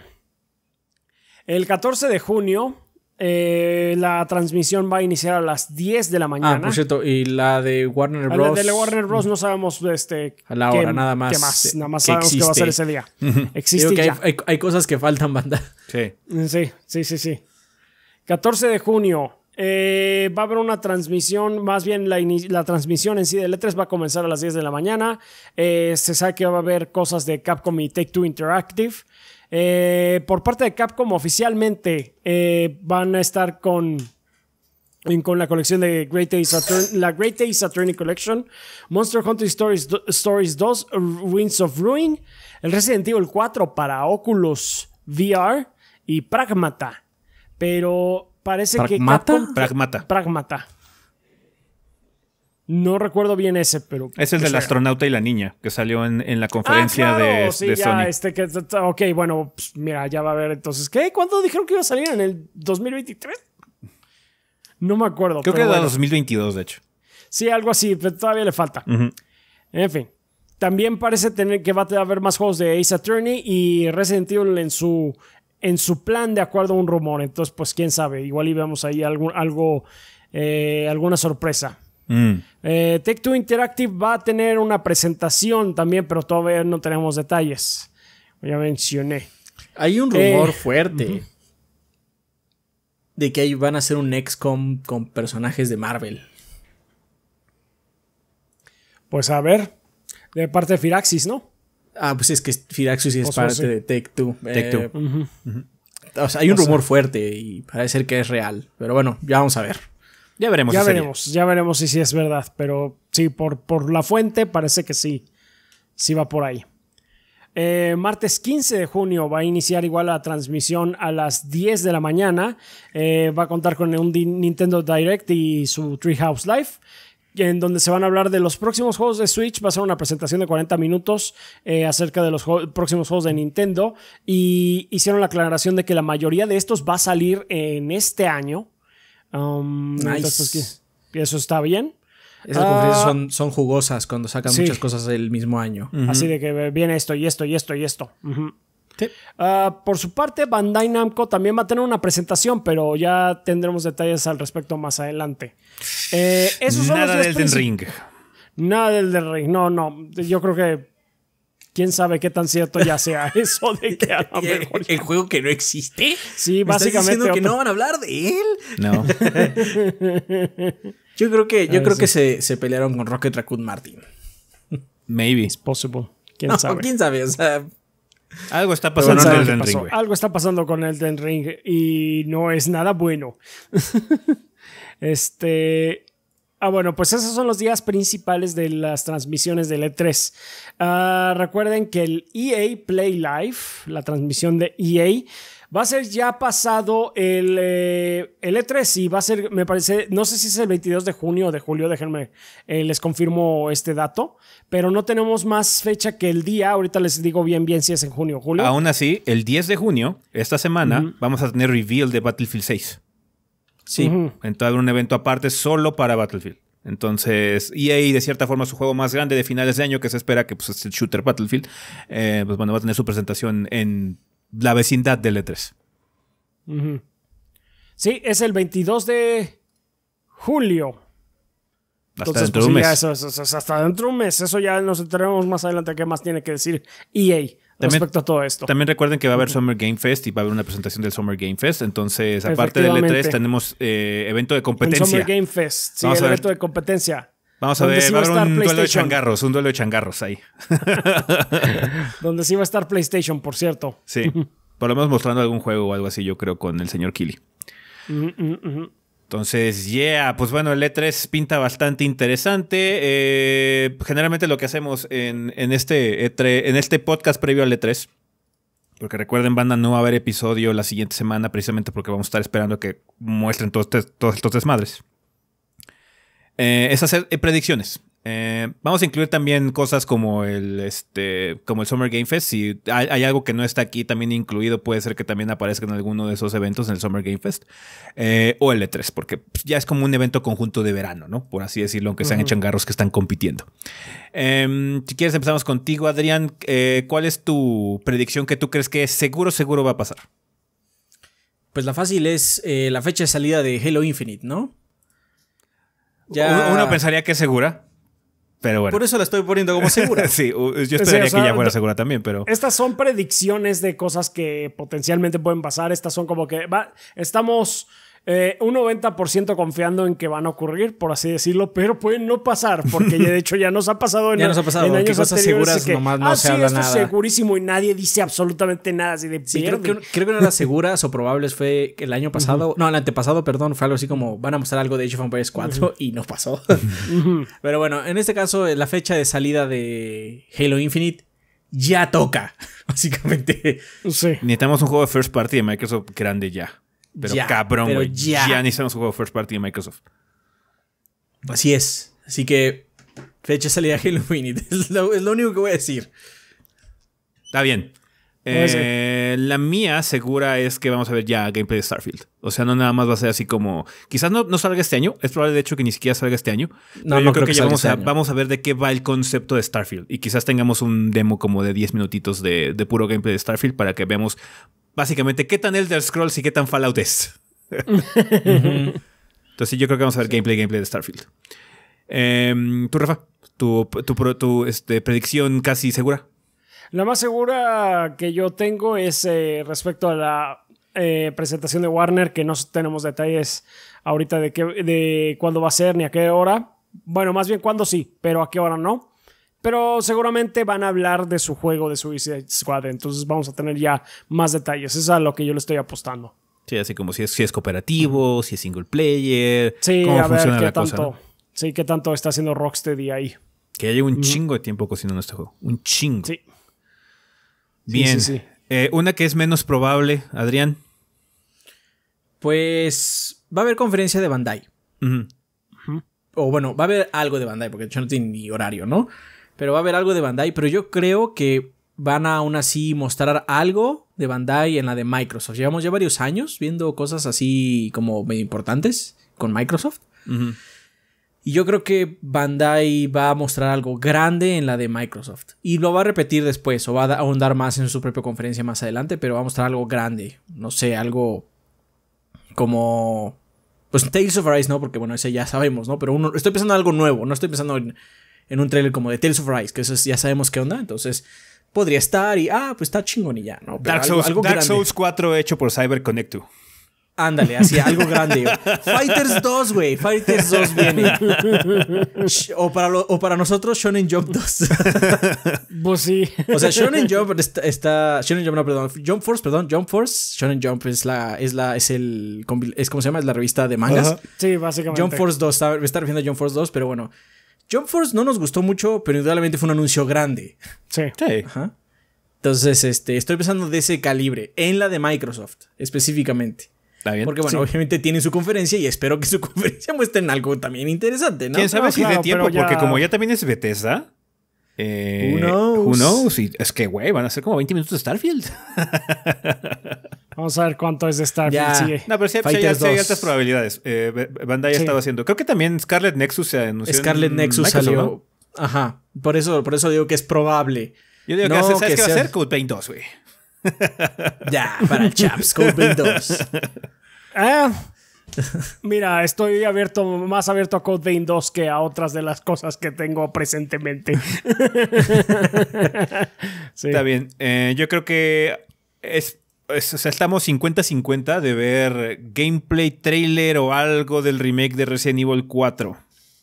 Eh, No nos referimos al VR. no al VR. No, o sea, no, no, al Resident Evil remake. 4 remake. De Resident Evil 4. Ha habido muchos como- rumores de que Sony emitió Varo y probablemente lo dejen exclusivo para el PlayStation un rato. Entonces podría ser Summer Game Fest. No sé, güey. Eh, pero este. Ojalá que no. O Ojalá, o que sea- multiplat como cualquier pinche lanzamiento de Resident Evil porque estaría como de la verga. Eh, Me estás diciendo además que va a llegar 4, otra sí. vez la, va, va a llegar otra vez el Exclusivo del PlayStation 5. Only on PlayStation 5. Sí, va a llegar la Only. maldición del triangulito. Sí, para que después salga en el Engage 2, güey, y en todos lados. y en Apple Arcade, en estadio. todos lados también. o sea, entonces, este. Pero bueno, Resident Evil 4 yo creo que vamos a ver trailer, gameplay o lo que sea en algún lado, ya sea en el E3 o en el Summer Game Fest. Sí, ¿Tú, Rafa? pues sí. Eh, yo pienso, es probable, posible. Diría posible. Posible más bien que, que ya sepamos algo de Breath of the Wild 2. Quiero pensar. Así como un trailer nuevo, quizás Un gameplay nuevo, o ya algo más grande o de como plano fecha. más grande como la fecha de salida. Ey, sea, igual y, y- sale a final de año. Yo creo que este año, güey. Ese me huele Sí, para yo- este año ya, güey. Ese podría ser. Y le No, apuesto s- más a este a cualquier otra cosa, así tipo Metroid 4 o Bayonetta 3. Ah, de, no. ¿What? ¿Qué son esas cosas? Bueno, Nadie sabemos que. Bayonetta 3 no porque Ah, bueno, sí, porque ahí por lo este, menos los de alguien, Platinum este, dijeron no nos pregunten nada. sí puede hablar, ¿no? Alguien sí puede decir, no, pues este no, pero pues Samus está secuestrada, quién sabe en dónde. este, O sea, igual y no la fecha. O sea, porque, o sea, pero yo algo sé- más. Yo no siento que sea de este año. Yo creo que es de marzo del que sigue. De hecho, igual estaría así como Could be, marzo 2022. could be. Sí, pero es que, o sea, vamos a ver qué juego grande tienen a final de año, porque, o sea, sale el remake del Pokémon este, ¿no? Sí. Que en Ah. cierta forma podrías argumentar que ese puede sostener el final de año en Nintendo, ¿no? Eh, sí. Pero. Y, tiene- y tienen uno que no es de ellos, pero tiene Shin Megami. También, O sea, lo tienen. Dude, o sea, tienen fan, algo. a fan dog, pero no- nadie compra sus cosas. eh, yo lo quiero tanto como el que más. Bueno, pero tienen algo, tienen algo que sí, mostrar. así, I guess. Y bueno, el, sí. el de, el de Pokémon sí sale. Y pues ese obviamente va a vender. Muy obvio. Pero bueno, Sí. si no, igual, o sea, no me quejo. Si sale a final de año también voy a estar feliz. Ese Pero me yo huele- estoy pensando que. Ese me huele para Yo estoy final año. pensando marzo. Yo estoy pensando marzo. Habíamos dicho también la otra, la otra propuesta loca que tenemos y se anuncia un nuevo Mario Kart, güey. Ah, sí, sí, sí, sí, sí. El otro día nos preguntaron en un stream que, que qué sería, como qué podrían anunciar Nintendo para el fin de año y dijimos, pues ya es como hora de otro Mario Kart, ¿no? De hecho, sí. el último fue en el 2014, ¿no? Más o menos. Sí, O sea, sin contar la- la relanzamientos versión de ni nada, relanzamiento ¿no? del 8, ¿no? Pero ya. Y bueno, obviamente siempre así podemos meterle así como el dedo en la llaga y decir Mario Strikers, pero eso no va a pasar, banda. Ay, no mames. no. Todavía ni siquiera sale el golf. Em, pero sí, bueno, Breath of the Wild dice Chaps. Ahora bien, las guajiras, las completamente irreales que claramente no van a pasar, pero si llegan a pasar va a ser el momento Half-Life 3 del evento.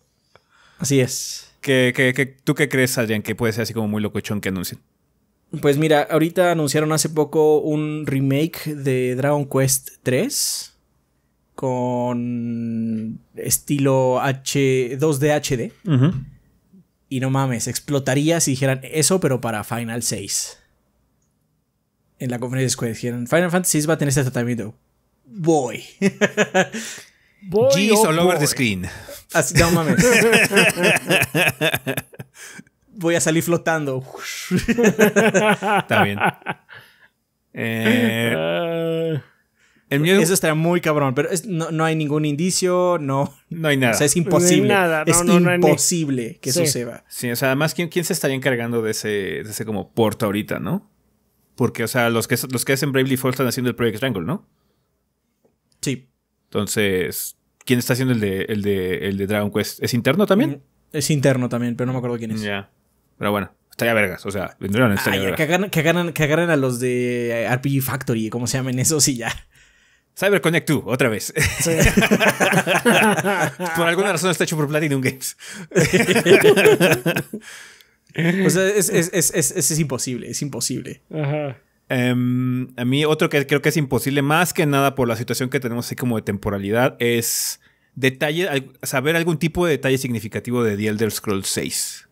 O sea, quizás nos muestren eh, arte concepto o algo así, pero ya nos ah, sí, va a ser en esta región y va a ser tantos años después y tú vas a ser el Seagullborn.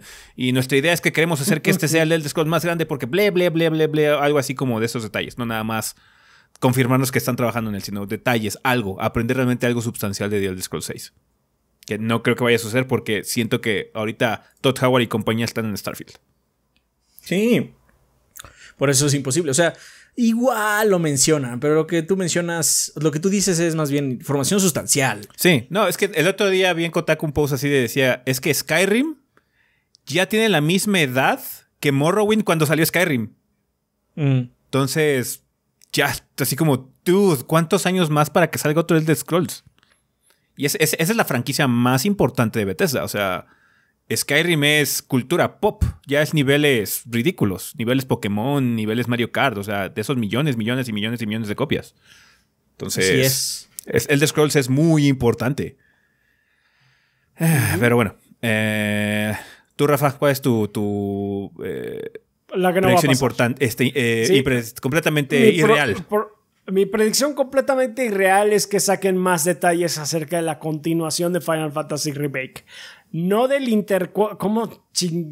Ay, de lo de Yuffie. Eh, no, nada de ese episodio, nada de que, ay, sí, ya sale, porque ya para esas alturas de, del Intergrade, gracias.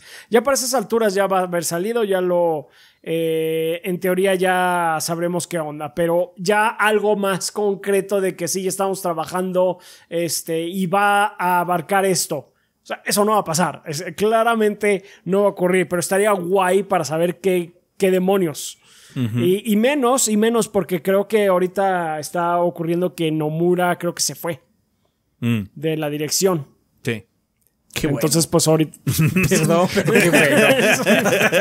Ya, pero, o sea, a, a lo mejor y por eso sale al- algo más rápido, pero no creo que ahorita. Es, es así de me encantaría saber más, pero mm, Me salió del corazón, lo siento. se le dije, good.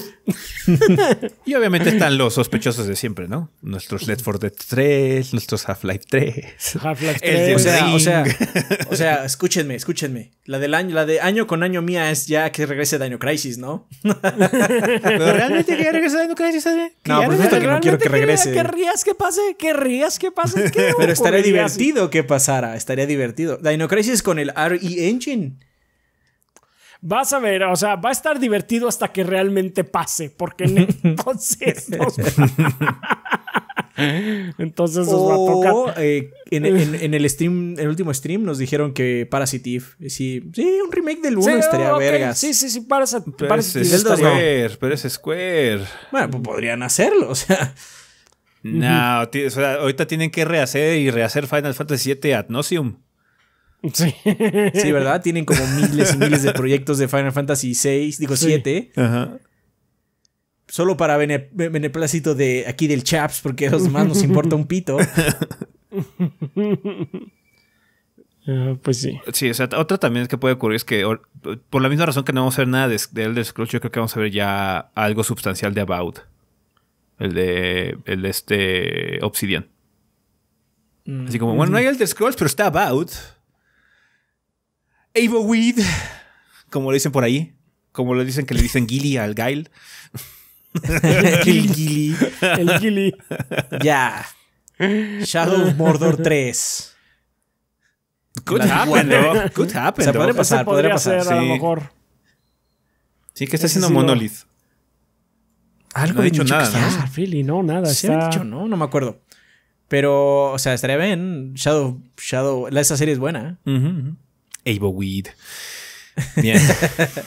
Pues banda, eh, eh, como obviamente el, siguiente episodio ya va a ser posterior al E3, eh, les vamos a invitar a que nos dejen sus pensamientos de lo que más les gustó sobre el evento. Incluye también el Summer Game Fest, porque digo, el Summer Game Fest va a estar ahí metido.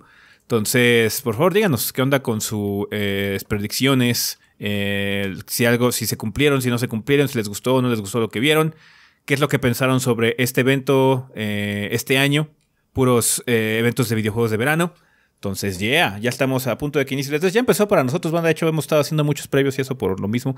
Entonces, yeah, em, vamos a darle este desmadre. Vamos a hacer muchos restreams, digo, co-streams, perdón, de, de, estos, eh, de estas conferencias eh, para poder eh, pues estar con ustedes y vivir todos los anuncios en vivo en nuestro canal de Twitch. Así que por favor, vayan a twitch.tv diagonal 3 gordos B y síganos para que se enteren cuando nos vemos en vivo. Si no, también síganos en redes sociales que es TrichoBB, que es Twitter principalmente, para que no se pierdan cuando vayamos a iniciar transmisión de estas conferencias y eventos.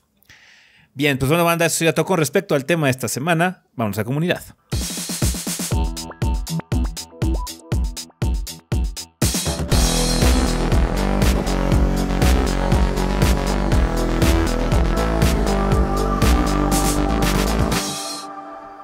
Bueno, banda, pues ya estamos aquí en la sección de comunidad, que como siempre es un excelente momento para agradecerle a los patrocinadores oficiales del podcast, banda, porque pues, bueno, eh, este grupo de personas que son nuestros patrocinadores, eh, gracias a ellos existe este programa, existe el proyecto, junto con todo el resto de nuestros Patreons y nuestros suscriptores de Twitch, pero particularmente uno de los perks de volverse uno de nuestros Lord Bombones, que son los eh, Patreons que donen 20 dólares o más durante el mes correspondiente, es volverse un patrocinador oficial del podcast y poder dejar estos mensajes. Así que muchísimas gracias a toda la gente que se anima a apoyar este proyecto pues bueno, a permitirnos seguir siendo parte de su rutina con este programa y pues les agradecemos infinitamente por otro mes más de apoyo, banda. Muchísimas gracias por eh, mantenernos en los estándares más o menos regulares. Sabemos que seguimos en situaciones muy difíciles todavía en varios lugares y por eso nos sorprende mucho seguir contando con su apoyo. Así que muchísimas gracias por todo lo que hacen, banda. Si no se habían enterado, por favor, chequen patreon.com diagonal 3 gordos B y vean cómo pueden apoyar el proyecto de los gordos si es que les nace, si pueden. Eh, y si no, pues no se preocupen, solo con vernos, con estar aquí, con dejar un me gusta, con suscribirse y con darle a la campanita también ahí en YouTube,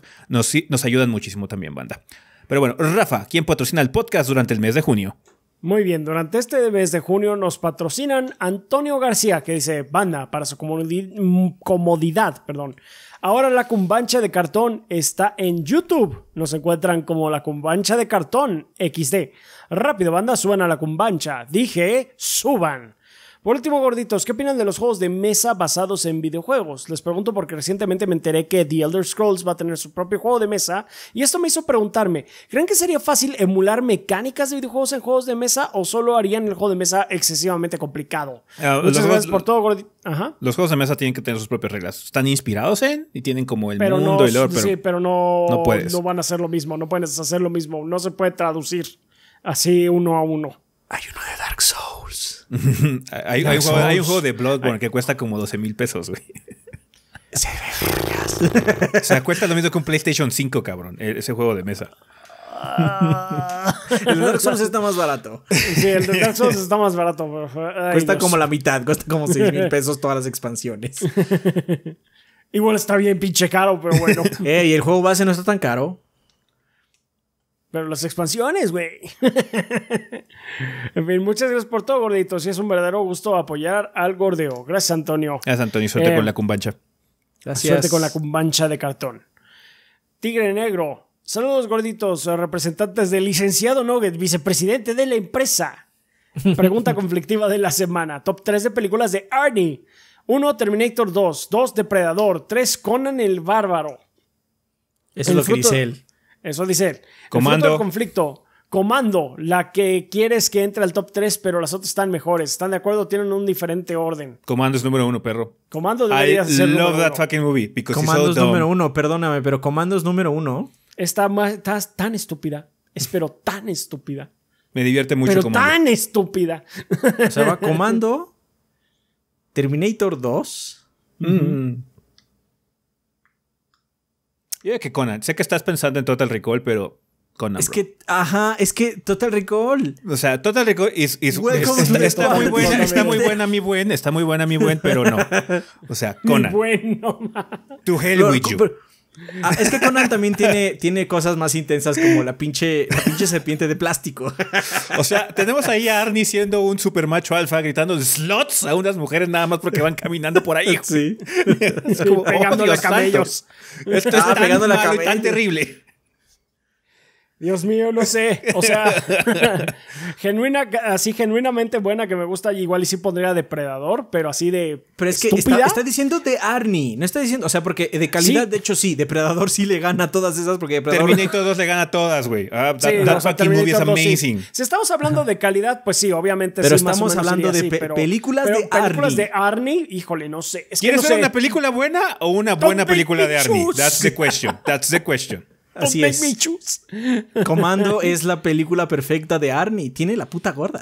Ah, no, sí, o sea, sí. Es más, banda, yo estoy nominando ahorita a Comando como la mejor película del mes Pride, porque es súper homo. El amor, el amor entre, entre, entre John Matrix y Bennett y Bennett es está- real. Es es hella gay. That movie is hella gay.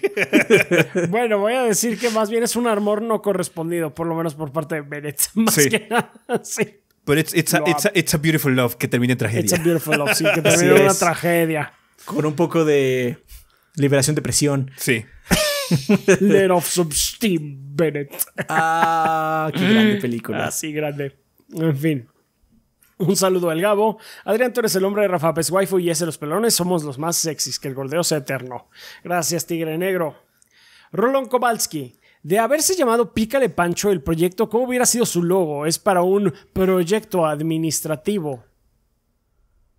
Ah, no lo sé. Como no tenemos ese nombre, como que no me puedo centrar en qué sería Igual un hubiera buen sido un logo. d así con un dedo picándole súper duro. O con, Sí, un, o con un así. botón así pegándole súper duro. Pícale pancho. Súper hundido el D-pad. Tan hundido que ya tiene, tiene cracks alrededor. Así que ya Sí. tiene cracks Ah, alrededor. pícale, Sí, Pancho. quizás. Pícale, Pancho. Sigo escuchando sus podcasts viejos. Estoy en ese punto en el que dejan de mandar saludos con sus personajes. Ah, sí. Was era a good choice. Ahorita ya lo Sí. traducimos. De hecho, generalmente donde ocurre eso ya es en los streams. Eh, Sí, es en los streams y nos sentimos mucho más vivos. Ajá. No, Eso es que aparte en esa época grabábamos el podcast los domingos tardísimo. Entonces era así, ya va. Después de grabar reseña también. Ajá. Quiero irme a mi casa. Hacíamos la- eh, el, ¿qué te gusta? El 80% del trabajo se hacía los domingos. Entonces, pues sí estaba muy pesado. Eh, eso Ahora me por lo menos ya está distribuido en la semana, sí. Perdón. Así es. Eso me dio la siguiente idea. ¿Puedo recibir un saludo al extremo por Adrián? Saludos. Por mí. Pero si el que hace el extremo es Rafa. Pues bueno, pues ahora le tocó a Adrián. Pues. ¡Al extremo! Ahí está. Lo siento, Saludos. no, no soy tan bueno. Postdata, I fucking knew it. Reseña de Mass Effect. Come on. O sea, alguien ahí O sea, puso que Nunca no escuché de tal cosa. ¿De qué estás hablando? ¿De No qué hablas. hablando? No sé. O sea, es lo que escucho cuando me dicen eso. Never de heard ah, sí. Era más que obvio, anda. Un ángel guerrero dice: Saludos entrenadores. Recuerden que los esperamos en Critical Hit Pokémon Podcast, podcast donde discutimos las noticias y novedades del mundo Pokémon. Encuéntrenos en Facebook como ah, at Critical Hit Pokémon Podcast. Arroba Critical Hit arroba Critical PKM Hit Cast. PKM Cast. Pokémon. No sé qué, qué pedo con Rafa, le estaba dando una No sé, embolia. el- sí, Se quitan trabajo. Eh, ahí está. Entonces, arroba Critical Hit PKM Cast. Ahí pegadito. Ok, el mensaje de esta semana es: Saludos entrenadores, ya estamos también en YouTube. Muchas gracias por su apoyo, gordos. ¿Cómo fue su ascenso a la fama?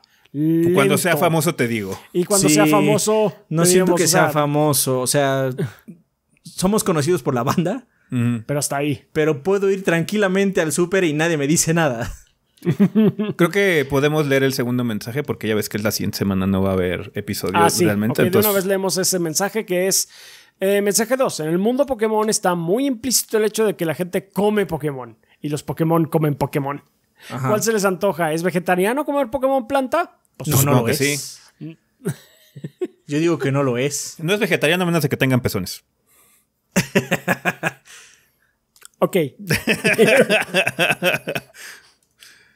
Eh, O sea, yo creo que muchos Pokémon pueden ser muy deliciosos. Pues los vaca, güey, las Hot pinches- Take no lo es. El mojarrón, güey. El mojarrón el de El mojarrón ha de estar bien rico, sí.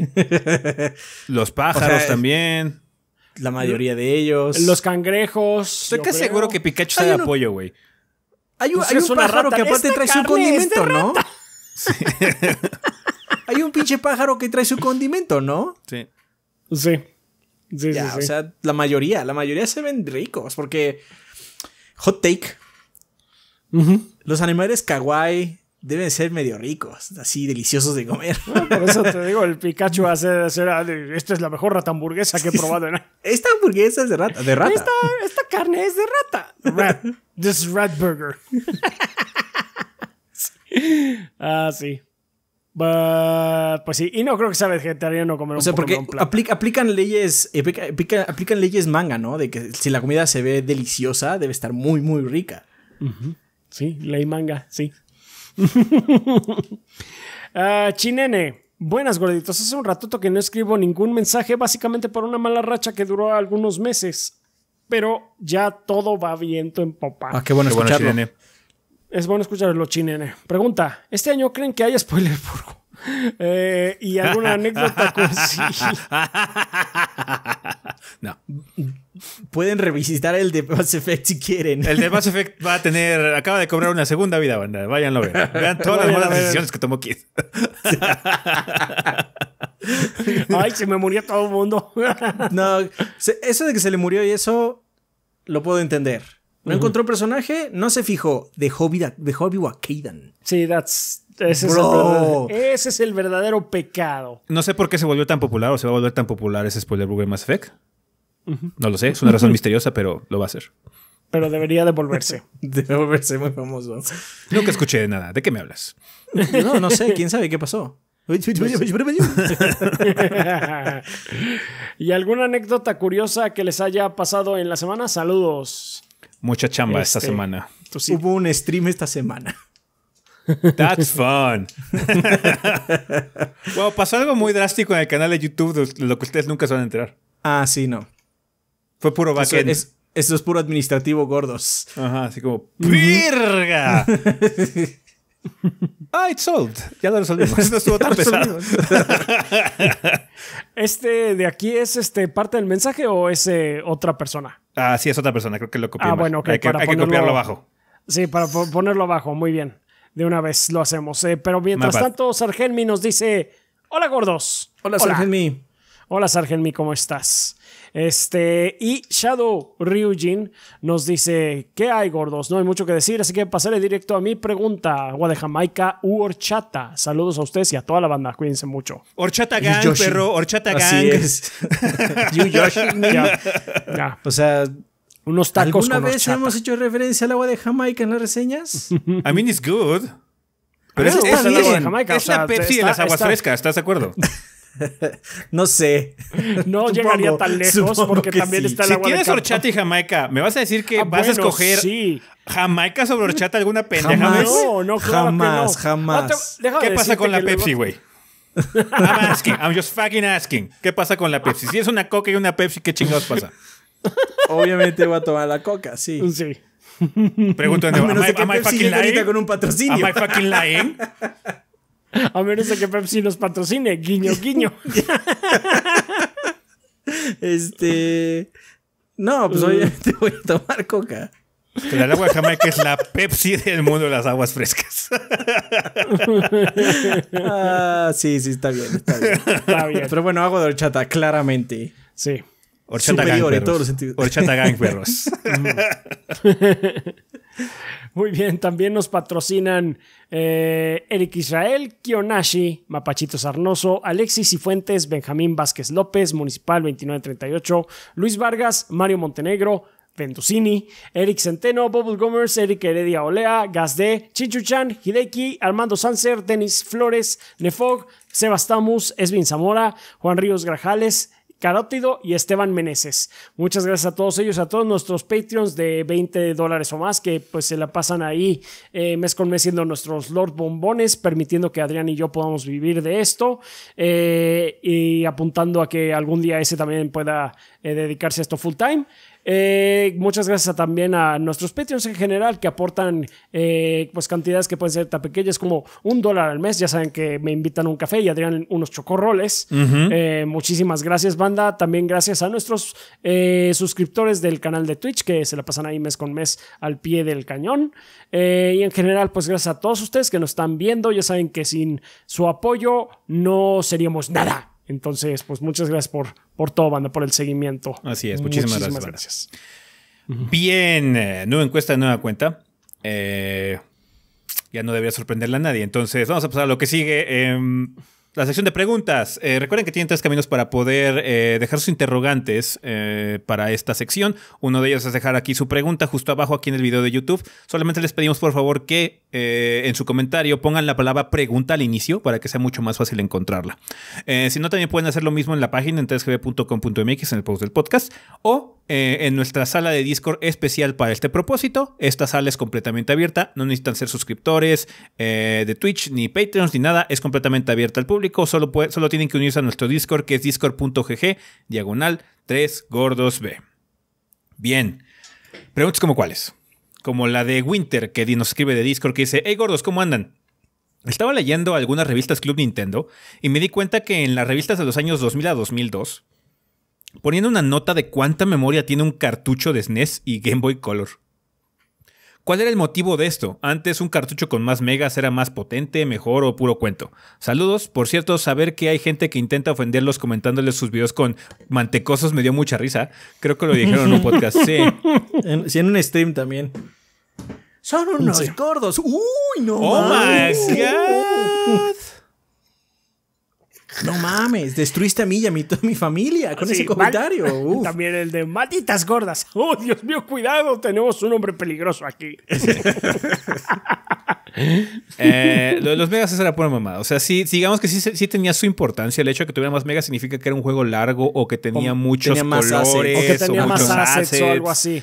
O sea, los juegos, de- yo me acuerdo que de- eh, los juegos más chonchos que vi justamente en esas revistas en esa época eh, fueron Majora's Mask, Resident Evil 2, eh, que eran juegos de 256 megas, güey. O sea, lo que, lo que dura medio audio del podcast ahora de uno Sí. de nosotros. Sí. O sea, yo me acuerdo mucho, por ejemplo, cuando salió Metal Gear Solid 4, que decían, no, es que pinche ese juego más pesado de la historia, porque tiene ocupa un Blu-ray de dos capas al full y la chingada. Oh, está bien, está vergas porque tiene puras texturas chingonas, pero lo que me estás diciendo es que no pudieron implementar una pinche eh, rutina para comprimir y descomprimir texturas. Básicamente es eso. Nos dio hueva hacer una de estas, entonces, ¿sabes pon qué? todos, Mejor tienes pon todo. espacio. tienes espacio, pon todo. Entonces, era pura mamada hasta cierto punto, pero sí significaba algo. Ajá. El de Resident Evil 2 pesa tanto por los pinches cinemas. Sí. por, por el FMV. Entonces ya. Bueno, pero de la época del SNES y eso también era por lo mismo, pues tenía más cosas. Así es. Eh, pues ahí lo tienes, Winter.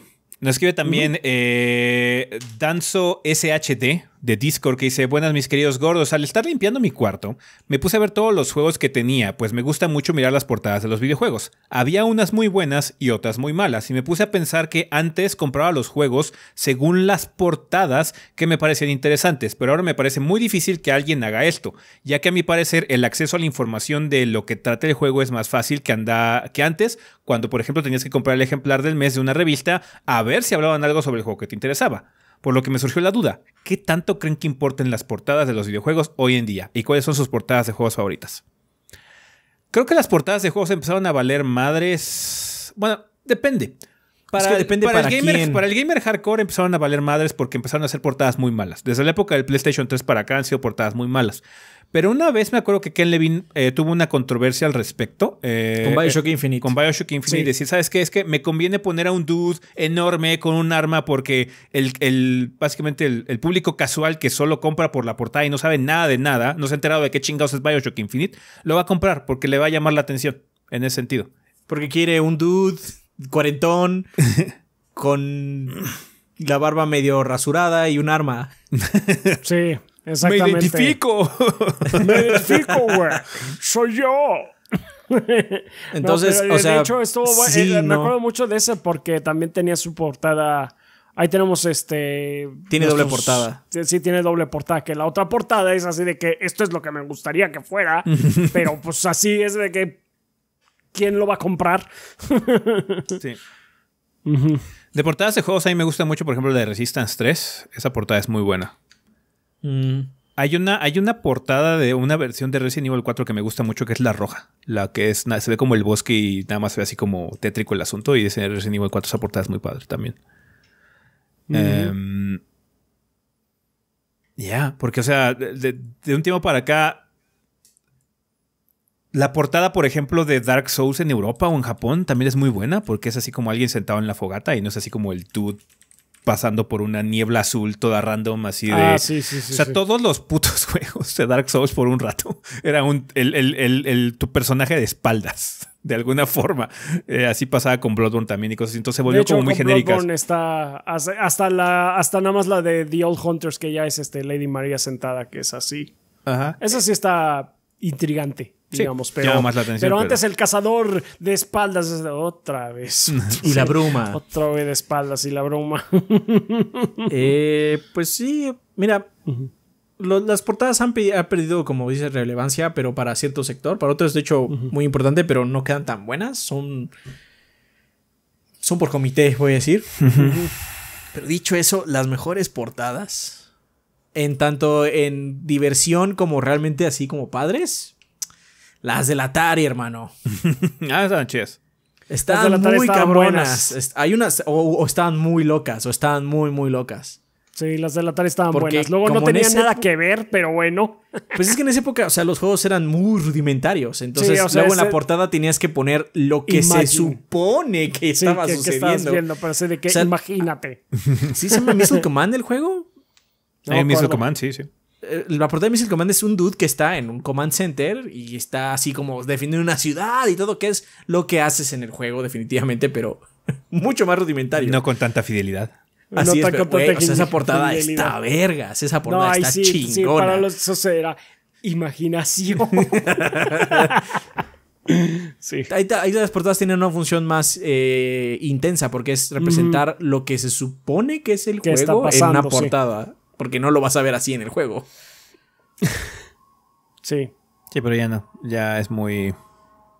Y claro que no podemos olvidar la, la épica portada de Phalanx. Sí, la, el dude con el banjo, ¿no? El, el, el, Ah, sí. Con el baño. Ah, ¿qué, qué, qué, qué haces aquí? Vas este, golpeando con tu. Es un shmup. banjo. Es un shmup. ¿What? Lo importante es la navecita de atrás.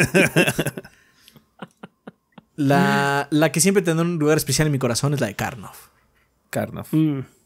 So bad. Tiene los pinches dinosaurios en el fondo y luego Karnov está haciendo así, ¡uh! disparando fuego. Está- está. Pues sí, Ah, sí. la- ya las portadas no son como muy importantes realmente. No. Para el sector que sabe qué onda, ¿no? Eh, escribe también Alan Quiroz de YouTube que dice: Hola Gordos, espero que se encuentren muy chido. Mi pregunta es la siguiente: ¿En qué cambio de generación consideran que hubo el salto gráfico tecnológico más perro? Gracias por leer la pregunta. Pues el obvio es como Super Nintendo 64, ¿no?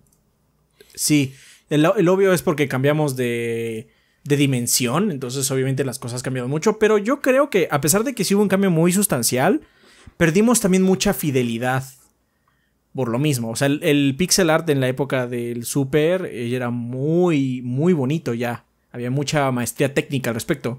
Entonces yo diría que el salto más brutal, de hecho, ha sido de la era del Play 1 y 64 al Play 2 y GameCube. Mm. Porque ya es 3D mejor, ya es 3D más... Algo este, que se nota mucho en ese salto es eh, con respecto a las caras luego de los personajes. Porque las caras de los personajes eh, generalmente en épocas de Play 1, Nintendo 64, eran pinches texturas. Que si acaso nada. una iteración o nada. O sea, pinche Metal Gear no tiene ojos. sí. ni labios ni nada. Y a partir de PlayStation 2 y es más, desde creo que también fue un poquito eso desde el Dreamcast. Ya fue así de que, ah, Dios mío, esta es una cara de verdad, ya se mueven los labios, esta persona habla. Sí, yo, siento que el cambio sí como más brutal sí es, Play 1, mucho. Play 2, 64 GameCube. Me acuerdo mucho de eso de Soul Calibur la primera vez que lo vi que fue, oh my, esto está brutalísimo, no manches. Porque sí, o sea, el, el, más obvio sí es Super 64. Pero es por el cambio a polígonos, literalmente, ¿no? Pero sí siento que perdimos parte. Perdimos como. Pues maestría técnica, no sé. Porque estaban aprendiéndose muchas cosas. Sí, pero digamos que el apartado tecnológico sí es como muy radical el salto, ¿no? ah, sí, cambiamos por completamente incluso también de cómo pensar en los juegos. De hecho, fue mucho filosófico. Digamos que se refinó hacia hacia la segunda generación del 3D que fue PlayStation 2 y GameCube, en ese sentido, pues ya se hizo mejor, ¿no? Y sí es mucho más notorio. O sea, en esa época sí hubo un brinco muy constante. También podrías argumentar que de Play 2 a Play 3 y eh, Xbox a Xbox 360 fue el cambio radical y que de hecho ya no hemos cambiado mucho en ese sentido. Desde el Play 3 para acá, eh, hemos tenido como el, cambio progresivo, ¿no? No como un salto al HD y cosas así, porque acaba de celebrarse el lanzamiento de Mass Effect Legendary Edition, son juegos de esa generación, güey, y todavía aguantan. No -huh, retoques. Pero bueno, por eso la pregunta de, de Alank es uno es salto gráfico o tecnológico. Y sí, eh, estoy de acuerdo que de 64 a, de Super a 64 es como tecnológico. Sí. Pero gráfico, ya de fidelidad y eso. De Play, a Play 2. Obviamente el, HD fue un cambio muy intenso también. Sí. A, mí me cuesta mucho regresar a los juegos viejos porque me cuesta cómo se ven. Ya, yeah, stuff. Stuff. Stuff. Stuff. Bien, eh, muchas gracias, pues Alan. Eh, nos queda también Louis de YouTube que dice: Buenos días, gordos. Últimamente he estado reflexionando sobre la cultura mexicana en los videojuegos y cómo esta misma es representada, ya sea por estudios mexicanos o estudios extranjeros a nuestro país. Y algo que han, he notado mucho en obras de estudios mexicanos es que en sus obras, la única forma en la que puede haber algún tipo de influencia mexicana es si todo el juego está centrado en torno a esa cultura, ya que si el juego no está basado totalmente eh, al folclore mexicano, usualmente no tiene nada mexicano. Eh, por ejemplo, Lonesome Village, un juego creado por un estudio mexicano, al ser de origen, eh, de este origen, es de esperar que sus influencias por parte de nuestra cultura existan. Sin embargo, al ver su trailer, yo no pude detectar nada que me haga pensar que fue creado por alguien de esta misma de de mi nacionalidad. En fin, Puede que esté exagerando o pasando algo por alto, así que me gustaría saber su opinión. ¿Ustedes creen que los videojuegos mexicanos tengan dificultades en mostrar sus influencias mexicanas sin ser muy obvios? ¿Y cómo es que otros países y sus culturas se ven reflejadas en sus videojuegos sin ser muy obvios al respecto? Pues es que ahí hay una diferencia, ¿no? En primera, no creo que sea necesario que tengan que gritar a los cuatro vientos que son juegos mexicanos. No hay necesidad. Ni los juegos mexicanos, ni siquiera los juegos de otros estudios de otras nacionalidades, de otros países. Hay, hay estudios que si te dicen, por ejemplo, este eh, Horizon, vamos a pensar en Horizon Zero Dawn, que es de Guerrilla.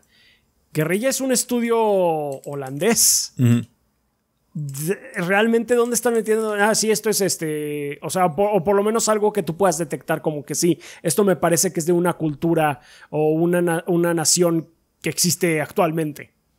O sea, no va por ahí porque no es necesario. Si, si llegara a ser el caso de hacer un juego eh, que gire en torno a una cultura o en torno a, una civilización, pues entonces sí se hace un intento un poquito más tangible, como fue el caso pensando en un estudio mexicano, eh, Mulaka, me parece que se llama, llamó el juego, ¿no? Sí. Sí, sí, sí. O sea, no sé, Remedy es finlandés. E hizo Max Payne. Ahora bien, ahí hay un detalle que tú mencionas eh, muy bien, Luis. Y es que hay sutilezas que seguramente nosotros que no conocemos de Finlandia, igual le aparecen en Max Payne y no los notamos. Igual en City Riders. City Riders es un juego de un estudio mexicano, Mecha Studio. Y tiene guiños a cosas mexicanas, a pesar de que el juego no tiene nada. O sea, es un mundo cyberpunk que nada tiene que ver con México, muy poco, tiene algunos guiños que la verdad algunas personas notarán, muchos mexicanos obviamente, pero a las personas no importa, no lo van a notar. No es necesario ah, decir. Es padre, no es necesario. También, sabes que ahorita que, que mencionaste eso, también eh, pensé en el juego de Pato Box, que por ejemplo es un juego que no tiene realmente nada que ver con, con algo mexicano. Sin embargo, sí hay alguna referencia por aquí. O sea, sale un, un luchador enmascarado. Es así, pues sí, obviamente el santo. Pero eso también es un cliché muy, muy, universal. es un cliché muy, obvio, muy universal, pero no, el juego no gira en torno a eso. Yo creo que también lo que le hace falta a la industria mexicana es generar su identidad, su propia cultura. Porque uno pensaría, ah, es que Final Fantasy VII claramente es japonés. ¿Is it? ¿Es it? O nada más es mucho de la cultura de videojuegos japoneses, que es muy diferente. Ajá, o sea, los JRPG se han vuelto como muy populares, pero la gran mayoría no tiene nada que ver con cosas japonesas. O sea, digamos que lo asociamos porque luego ni siquiera vienen de, en otro idioma, ¿no? Vienen en japonés, güey, pero así que no, es que a huevo tiene que ver con la cultura japonesa. No, realmente, o sea, es nada más por diseño de personajes. Anime, ajá, que ya se volvió su propio mundo, que ya de hecho el anime es muy global también. Entonces, eh, sí, es como, o sea, banda, no todos los japoneses ven anime, ¿eh? No. Se los. De hecho, no. la mayoría no lo ve anime. Puedo decirte que hay un juego más japonés que eso. Por ejemplo, cosas como Goemon claramente son más japonesas porque están basados en mucho folclore e historias japonesas. Pero Tales of Exilia, güey tiene algunas cosas. Más allá de que habla japonés, obviamente, ¿no? Güey, Bloodborne.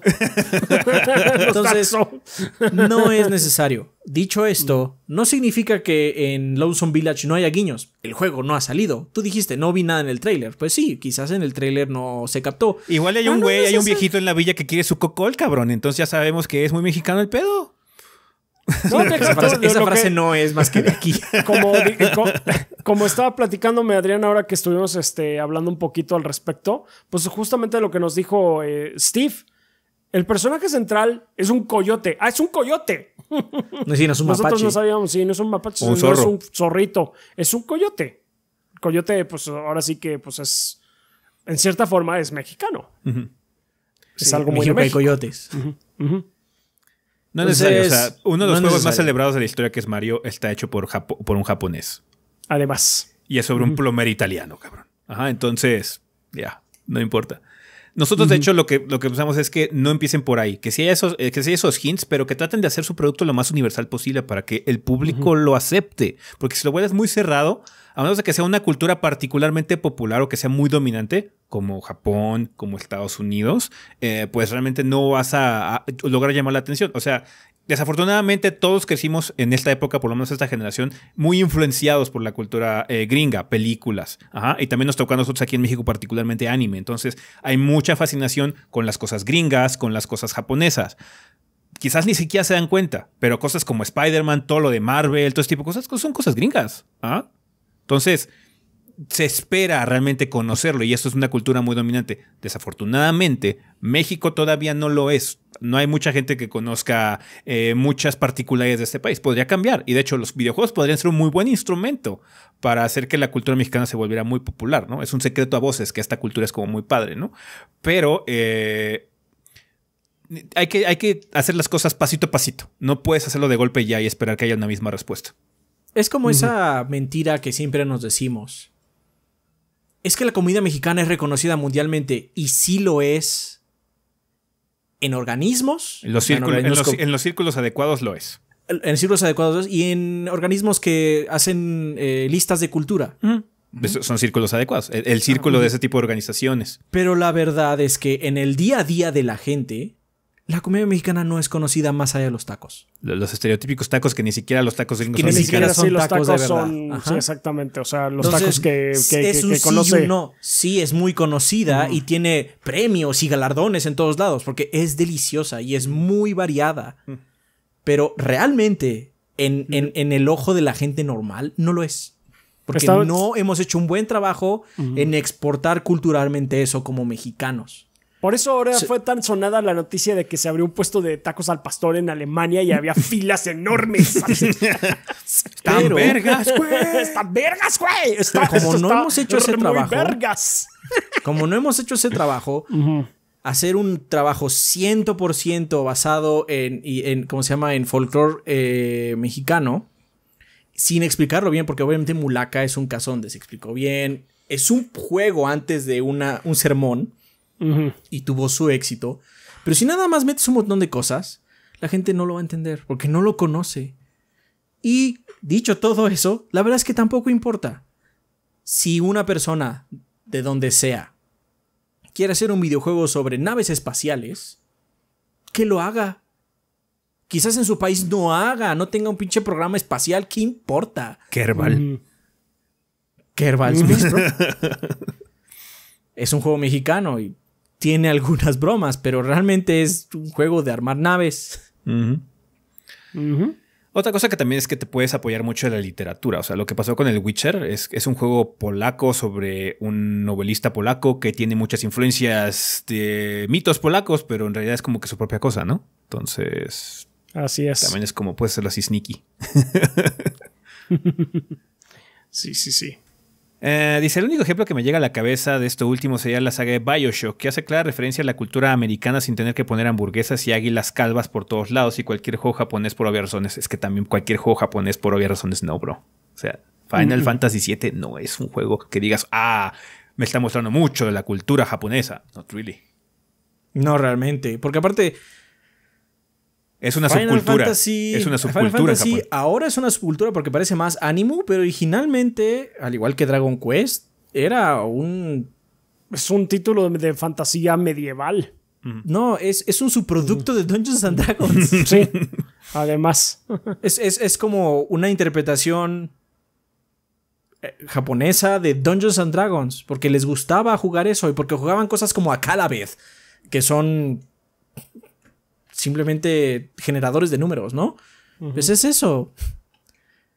No es que uno simplemente de su cultura cree algo y diga, ya, esto es famoso. No es cierto.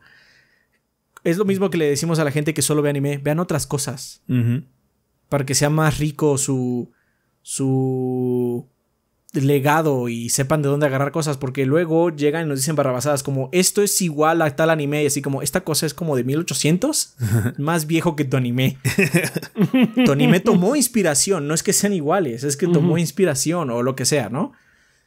Entonces es, pasa lo mismo no hay necesidad pero si se va a hacer tiene que ser un esfuerzo consciente y muy muy bueno tiene que ser muy bueno porque si no va a quedar a medias. Y es peor, porque si queda a medias, representa todavía peor al país. La neta. Yes. Vale, Luis, ojalá nos hayamos dado a entender también. Eh, muchísimas gracias por la pregunta. Escribe eh, Richard Red Nova de YouTube que dice: Pregunta, hola a todos. Tengo un par de dudas que espero me puedan responder. Uno, en el anterior podcast hablaron de que siguiendo el ejemplo de Microsoft con el Game Pass, en un futuro las compañías tengan su propia plataforma de servicio permitiendo que acceder a los juegos de cualquier compañía sea más sencillo, o eso entendí. Not really. Eh, en mi pregunta eh, es si en dado caso de que esto suceda, ¿creen que las compañías siguen creando consolas para dar acceso a estas mismas plataformas o dejen de lado esto y comiencen a enfocarse en crear computadoras como tal con el agregado de que te aseguran poder correr los juegos que estén en servicio? ¿Qué diferencia hay con las consolas actuales? Sí, es que básicamente eso es lo que están haciendo ahora. Nada No más creo que, que lo que tiene es que. ti- ¿Mm? Eh, pues la única diferencia es que tienen ahí el logo de Sony ahí pegado de Y PlayStation. obviamente el sistema operativo es diferente, está muy optimizado y todo lo que quieras, pero el, Xbox, el es una PC, bro. No, Sí. pero deja eso. Son más baratas. Con lo que me compro un Xbox, compro apenas la tarjeta. Si bien me va, porque ahorita ni hay ni Exacto. siquiera. Ajá. Exacto. Pero bueno, si, si existiéramos un mundo donde sí existiera, me compraré nada más la tarjeta. Ajá. Entonces, sí y no. Estaría padre que hubiera servicio y todo. Lo que dijimos es que lo que podría suceder es que hubiera servicios de PlayStation en tu PC, un, launcher de, de, PlayStation. Similar al de Epic. Pero, ah, similar al de Epic. Pero mientras ellos puedan seguir vendiendo una caja más barata y sacar dinero en su ecosistema cerrado, lo van a hacer. Porque ahí tienen el control absoluto. O sea, ahí es, ¿sabes qué? Yo tengo mi propio ecosistema, mi propia plataforma, yo controlo todo. Entonces, a ellos les conviene, a final de cuentas. Por cada, y a ti lo que te dan es una máquina que lo pueda hacer por años a un precio reducido. God of War, Ragnarok en PlayStation 4 para el 2022 todavía. Eh, mientras puedan seguir vendiéndolo a un precio reducido, lo van a hacer. Así es. Porque simplemente es más fácil. Eso y por la comunidad. Ya hemos hablado varias veces de que la PC es muy padre, tiene unos juegos chingones. Se pueden que muy nunca van a salir, y muchas que, nunca van a salir quizás en consola. O sea, Rimworld no, no lo veo en consolas, ¿no? Pero luego es una pinche latita hacerlos correr. Si tu sistema operativo o hubo una incompatibilidad con tu tarjeta o yo qué sé, ya valiste verga y tienes que estar un rato viendo foros y estar viendo cómo regresa el desmadre. Ah, bueno, de, hecho a mí justamente me pasó algo hace poco respecto a eso. Y con el Game Pass, que se supone que debería de ser lo, más, sencillo. Que este, básicamente, pues yo tengo más de una unidad de disco duro en donde pues hay una que nada más es para el sistema operativo. O sea, arranco el sistema operativo desde ahí para que sea más fácil. Pero es en donde, según esto, Windows tiene determinado aquí voy a instalar las nuevas apps. Eh, y a la hora de bajar los eh, juegos de, Game Pass o algo así, es, elige por favor en dónde quieres que vayan eh, tus, tus juegos. Ah, bueno, pues quiero aquí. No se puede aquí. ¿Por qué no? Porque no está configurado. Pues, ¿cómo no? ¿Qué tengo que hacer? Y a meterte a foros, a ver qué chingados tengo que hacer. Me, me, perdí una tarde entera ahí viendo cómo resolver ese estúpido problema. Y nada más, sí, la solución era muy estúpida. Nada más cambiarle el nombre a un estúpido directorio. pero de todas maneras, es una lata. Y pues puede ocurrir, a pesar de que traten las plataformas y demás eh, eh, cosas ya de hacerlo lo más eh, amigable y accesible eh, posible para todo tipo de jugadores, va a seguir habiendo broncas en PC. El PlayStation y el Xbox tienes la garantía casi asegurada de que nada más metes el disco o nada más descargas el juego y ya estuvo, ya puedes jugar. Quizás no tengas preferencia de gráficos o quizás no tengas la mejor experiencia, pero la verdad es que en PC tampoco, el em, como el 90% de la gente o más, no tienen la mejor experiencia tampoco. Y más ahora que no puedes ni comprar tarjetas gráficas. Sí, obviamente. Pero lo que dijimos la otra vez es que lo que sí puede suceder es que estas plataformas también se pongan en, el ecosistema de PC. Porque puedes vender más juegos. Entonces, Así es. Y no, se ve extraño por cómo están tirándose las cosas. Si esto se vuelve un probablemente, igual las consolas desaparecen, eso es innegable. Pero sería raro porque, por todas las razones que dijimos ahorita, es más barato. O sea, es más barato para el consumidor, porque lo que ellos quieren es que te quedes en el sistema y compres ahí. No es más barato para ellos. De hecho, en, ya, era, ya sabíamos esto, pero se reafirmó durante el juicio de Epic contra Apple que las compañías grandes venden las cosas en pérdida para que te quedes en el sistema y ellos le sacan con los juegos que venden. O los sistemas que te venden, ¿no? Como Game Pass o Plus. Sí, sí, sí. Así es, así es. Eh, continúa diciendo, incluso si aún implementan sus propias plataformas de servicio, ¿creen que se deshagan por completo los juegos formato físico? No. Si van a seguir... físico está difícil de deshacerse de él por completo. Sí. Pero va a, ir, va a ir desapareciendo, eso sí. O sea, va a haber tirajes cada vez más Va a ser menos prominente. Sí, viajes más cortos. Lo que sí puede desaparecer por completo es las tiendas de juegos. Sí, sí, sí. Entonces, yo creo que consolas vas a contar. O sea, Phil Spencer, justo antes de que saliera el Series X, ya estaba em, confesando que había planes para el, sucesor del Series X en ese sentido. Eh, entonces, todavía las consolas son muy prácticas, tienen su mercado. ¿ah? A pesar de que los PC Master Race digan que la PC es como el futuro y que probablemente sea una parte muy significativa de eso, no, va a dejar de haber gente que no quiere meterse a los fierros, a armar su propia computadora ni tener que lidiar con las pendejadas que luego el PC Gaming te avienta. Entonces nada más quieren conectar una mierda que va a la tele y punto, funciona, ¿no? Algo que puede romper mucho con eso, de hecho, son cosas como el streaming, cosas como eh, Xcloud y eso, si se vuelven muy prominentes y funcionan muy chido, eso sí podría ser bastante significativo el cambio, ¿no? Y ahí sí, sí. No, habría, no, no, tendrías ni siquiera licencia luego de tu producto, probablemente, ¿no? Entonces, eh, está, está cabrón el, pedo. Pero, ahí eh, ha existido Stadia y Stadia ha sido... Era Google. Xbox lo estás. Xbox, confío más en Xbox que lo haga mejor. Obviamente. que Google. Sí, sí, sí, claro, claro, claro. Sí, pero bueno. Continúa, dice dos. Con todo el spameo que está haciendo Blizzard a WoW Classic, me hace creer levemente que está intentando arreglar sus desastres, lo que. sus desastres, lo que me lleva a preguntarles. ¿Creen que en algún punto se dispongan a arreglar Warcraft 3 o es mejor olvidar esa posibilidad aún en un futuro cercano o lejano? Warcraft 3 ya va a estar así. No, sí, Warcraft, 3 ya no le van a hacer está muerto, ¿eh? Sí, está muerto. Sí.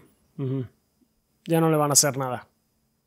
Porque, en primer, porque pues ya se, ya básicamente el equipo ya is caput. y este, y pues sí, o sea, no, no tienen el incentivo para arreglarlo. O sea, mm.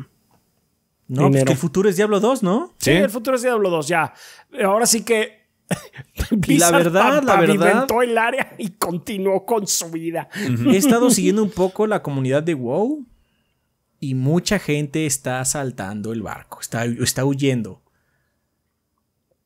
No, obviamente estoy hablando de youtubers. No puedo hablar de la comunidad que juega así full on. Pero muchos youtubers están yendo del juego.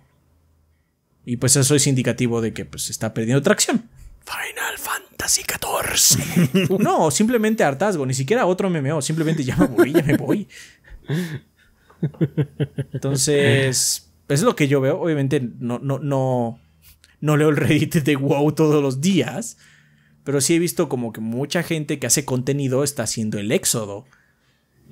Ah, y, esos, son, tus pregonadores. Si no tienes esos pregonadores, va a bajar mucho también el impacto del juego en internet. Cañón. Entonces, pues, o sea, claramente por eso estás viendo también como un cambio en WoW. Y le están tirando como cosas por eso, porque sí ha habido como un pequeño éxodo. Por cierto, creo que la palabra es pregonero. no pregonador. Pregonero. pregonero, pregonero. Ea, ea, ea, Sí, sorry, sorry. Me equivoqué todos de cometemos errores. La pregonancia no existe. La pregonancia. Entonces, sí, este. Pero bueno, de, este pinche Warcraft 3, olvídalo. Es una lástima. La neta, sí. Pero olvídalo, hermano. Olvídalo. Bien, eh, gracias de antemano por su tiempo, lindo día a todos. Pues igualmente, muchísimas gracias por la pregunta y muchísimas gracias, banda, a todos ustedes por sus preguntas que nos dejaron en esta ocasión. Recuerden que el siguiente episodio del podcast va a estar como retrasado, vamos a esperarnos hasta que pase el E3, entonces va a haber más tiempo para que nos dejen sus preguntas, así que por favor, déjenla aquí abajito. Eh, incluso después del E3, por favor, regresen a este video eh, y rápido nos pongan una pregunta si es que quieren utilizar ese formato, si no, ya saben, Discord, ¿vale? Bueno, pues ya que terminamos con esta sección, vamos a la sección de preguntas. Digo, preguntas. El final del podcast, despedidas. No sé en qué estoy. Las despedidas. despedidas, banda. La pregonancia me afectó el cerebro. Vamos a despedidas.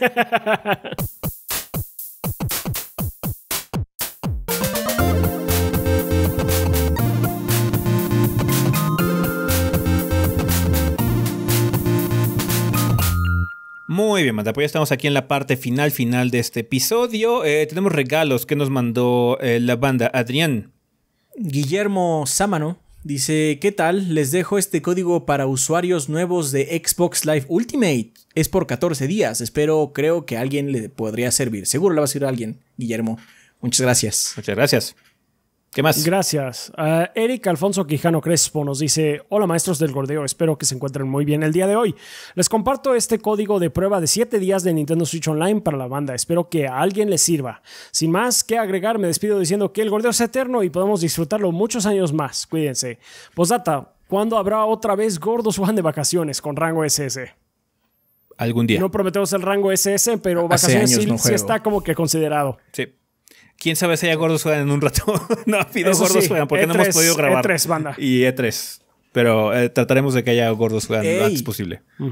El, los previos que salieron estuvieron chidos. Sí. Sí, sí, sí. ¿Qué más? también Daniel Ruiz dice código para Battlefield 4 en Origin. Saludos y un fuerte abrazo. Gracias, Daniel. Gracias. Gracias, Daniel.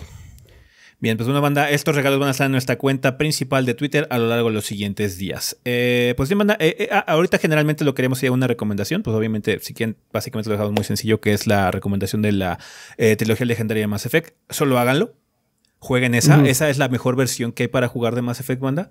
Eh, si, no, si no les alcanza, pues bueno, mínimo traten de probar las versiones que vienen en el Game Pass. Se van a ver mucho peor. El, primer juego se va a jugar mucho peor. Pero bueno, eh, chequen Mass Effect si es que no, nunca lo han checado, sino la edición legendaria. Está de huevos. Simplemente entren, levanta. Eh, también tenemos aquí un pequeño espacio reservado particularmente para Rafa. Cuéntanos, Rafa, este, ¿qué tienes que decir ahorita? Ok, pues quiero dedicar unas palabras, banda, porque recientemente, desgraciadamente, hubo, tuvimos una pérdida en mi familia. Eh, uno de mis primos eh, desafortunadamente falleció hace poco, el lunes de, la semana que estamos grabando.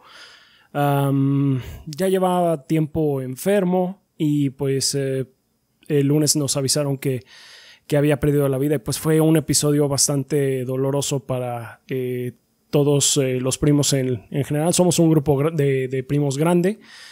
Y pues, pues mi primo que se llamaba Javier eh, Mesa Sosaya.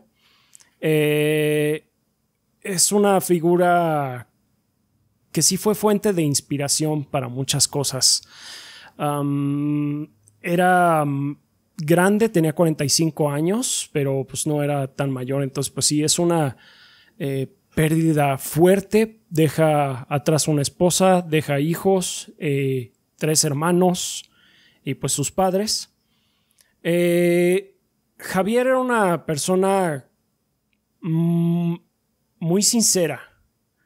Era un, eh, una persona que, se expresaba a través de su pintura eh, eh, con mucha sinceridad y poco a poco fue agarrando su propio estilo. Siempre estaba dispuesto a escuchar cuando tenía una persona algo que contar, aunque fuera algo que realmente no le interesara. Yo me acuerdo que yo trataba luego de platicarme mucho de los juegos que a él le valía madres, pero aún así me escuchaba. Eh, sí, una buena persona que sí dejó un impacto profundo de alguna, de alguna forma en, en muchos de nosotros, porque siento que él fue. es uno de, eh, una de aquellas personas que realmente sí perseguía su sueño, sin importarle lo que pensaran los demás. Eh, y pues eh, fue así como terminó siendo pintor, un pintor eh, que fue agarrando su propia identidad. Y la verdad, eh, yo tengo una pintura que atesoro mucho de él y estoy muy contento de, tenerla. Y, y, me duele, me ha dolido muchísimo su partida. A pesar de que no me llevaba tanto con él, me sorprende lo mucho que sí he estado dolido estos días de haberlo perdido. Y pues quería compartir también este espacio, en este espacio un poema que le dedicó su hermano menor, que él escribe poesía, es bastante bueno también.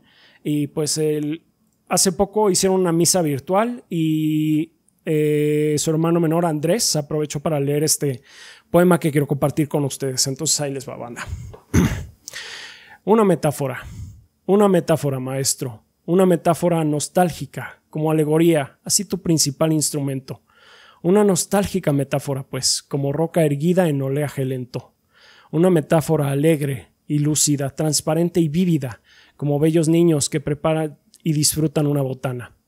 Una metáfora que hable de la herencia, como podría ser la pasión por un equipo, la música, la poesía, qué sé yo, también los cuentos. Te pedimos una metáfora, una pincelada de tu talento, una que disfrace el dolor e ilumine al amor. Una metáfora semitriste, no sé, un fado difuminado en un oleaje alborotado. Una metáfora, maestro, una que te pinte detallado, que te coloree en tu mística, que acentúe tu mustiez y que dibuje tu calidez. Queremos una metáfora, una que sortee sueños en barcos noticiosos, que asemeje capitanías en suertes tormentosas y que señale el puerto, nos indique el símbolo del encuentro. Una metáfora, maestro, que hable del amor incondicional como un padre desvelado queriéndote cuidar.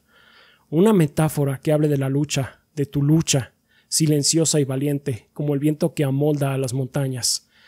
Píntanos algo, maestro. ¿Qué sé yo? Igual y una metáfora. Una casa y un resguardo donde allá en un rato nos volvamos a ver, a abrazar y seguir riendo un rato. y Javier Mesa Sosaya a mi querido hermano. Pues hasta pronto, Javier, te vamos a extrañar. Ya es todo. Muy bien. Pues bueno, Rafa, este, pues ya, ya hemos platicado en, privado mucho sobre esta situación, así que la banda yo creo que también te va a mandar buenos deseos, esperamos. Y pues sí, también ojalá que tu familia esté bien. Y pues. Gracias. Ni modo, las cosas como siempre suceden, tenemos que continuar y terminar con este episodio, pero bueno, ahí lo tienen.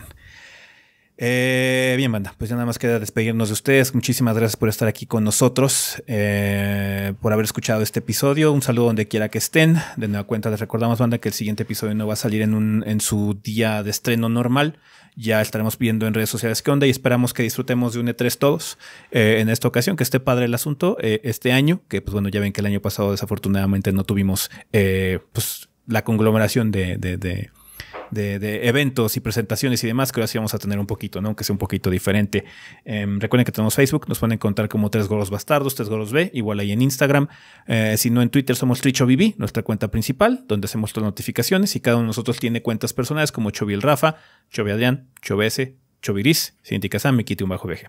Muchísimas gracias a todos nuestros patrons que hacen posible este programa, también a nuestros suscriptores de Twitch, a toda la gente que compra producción en la tienda y a toda la banda que escucha la versión en audio de este programa a través de sus plataformas preferidas, ya sea Apple Podcasts, Spotify, Podbean, iBox, donde sea. Les agradecemos mucho sus ratings, calificaciones, comentarios y demás.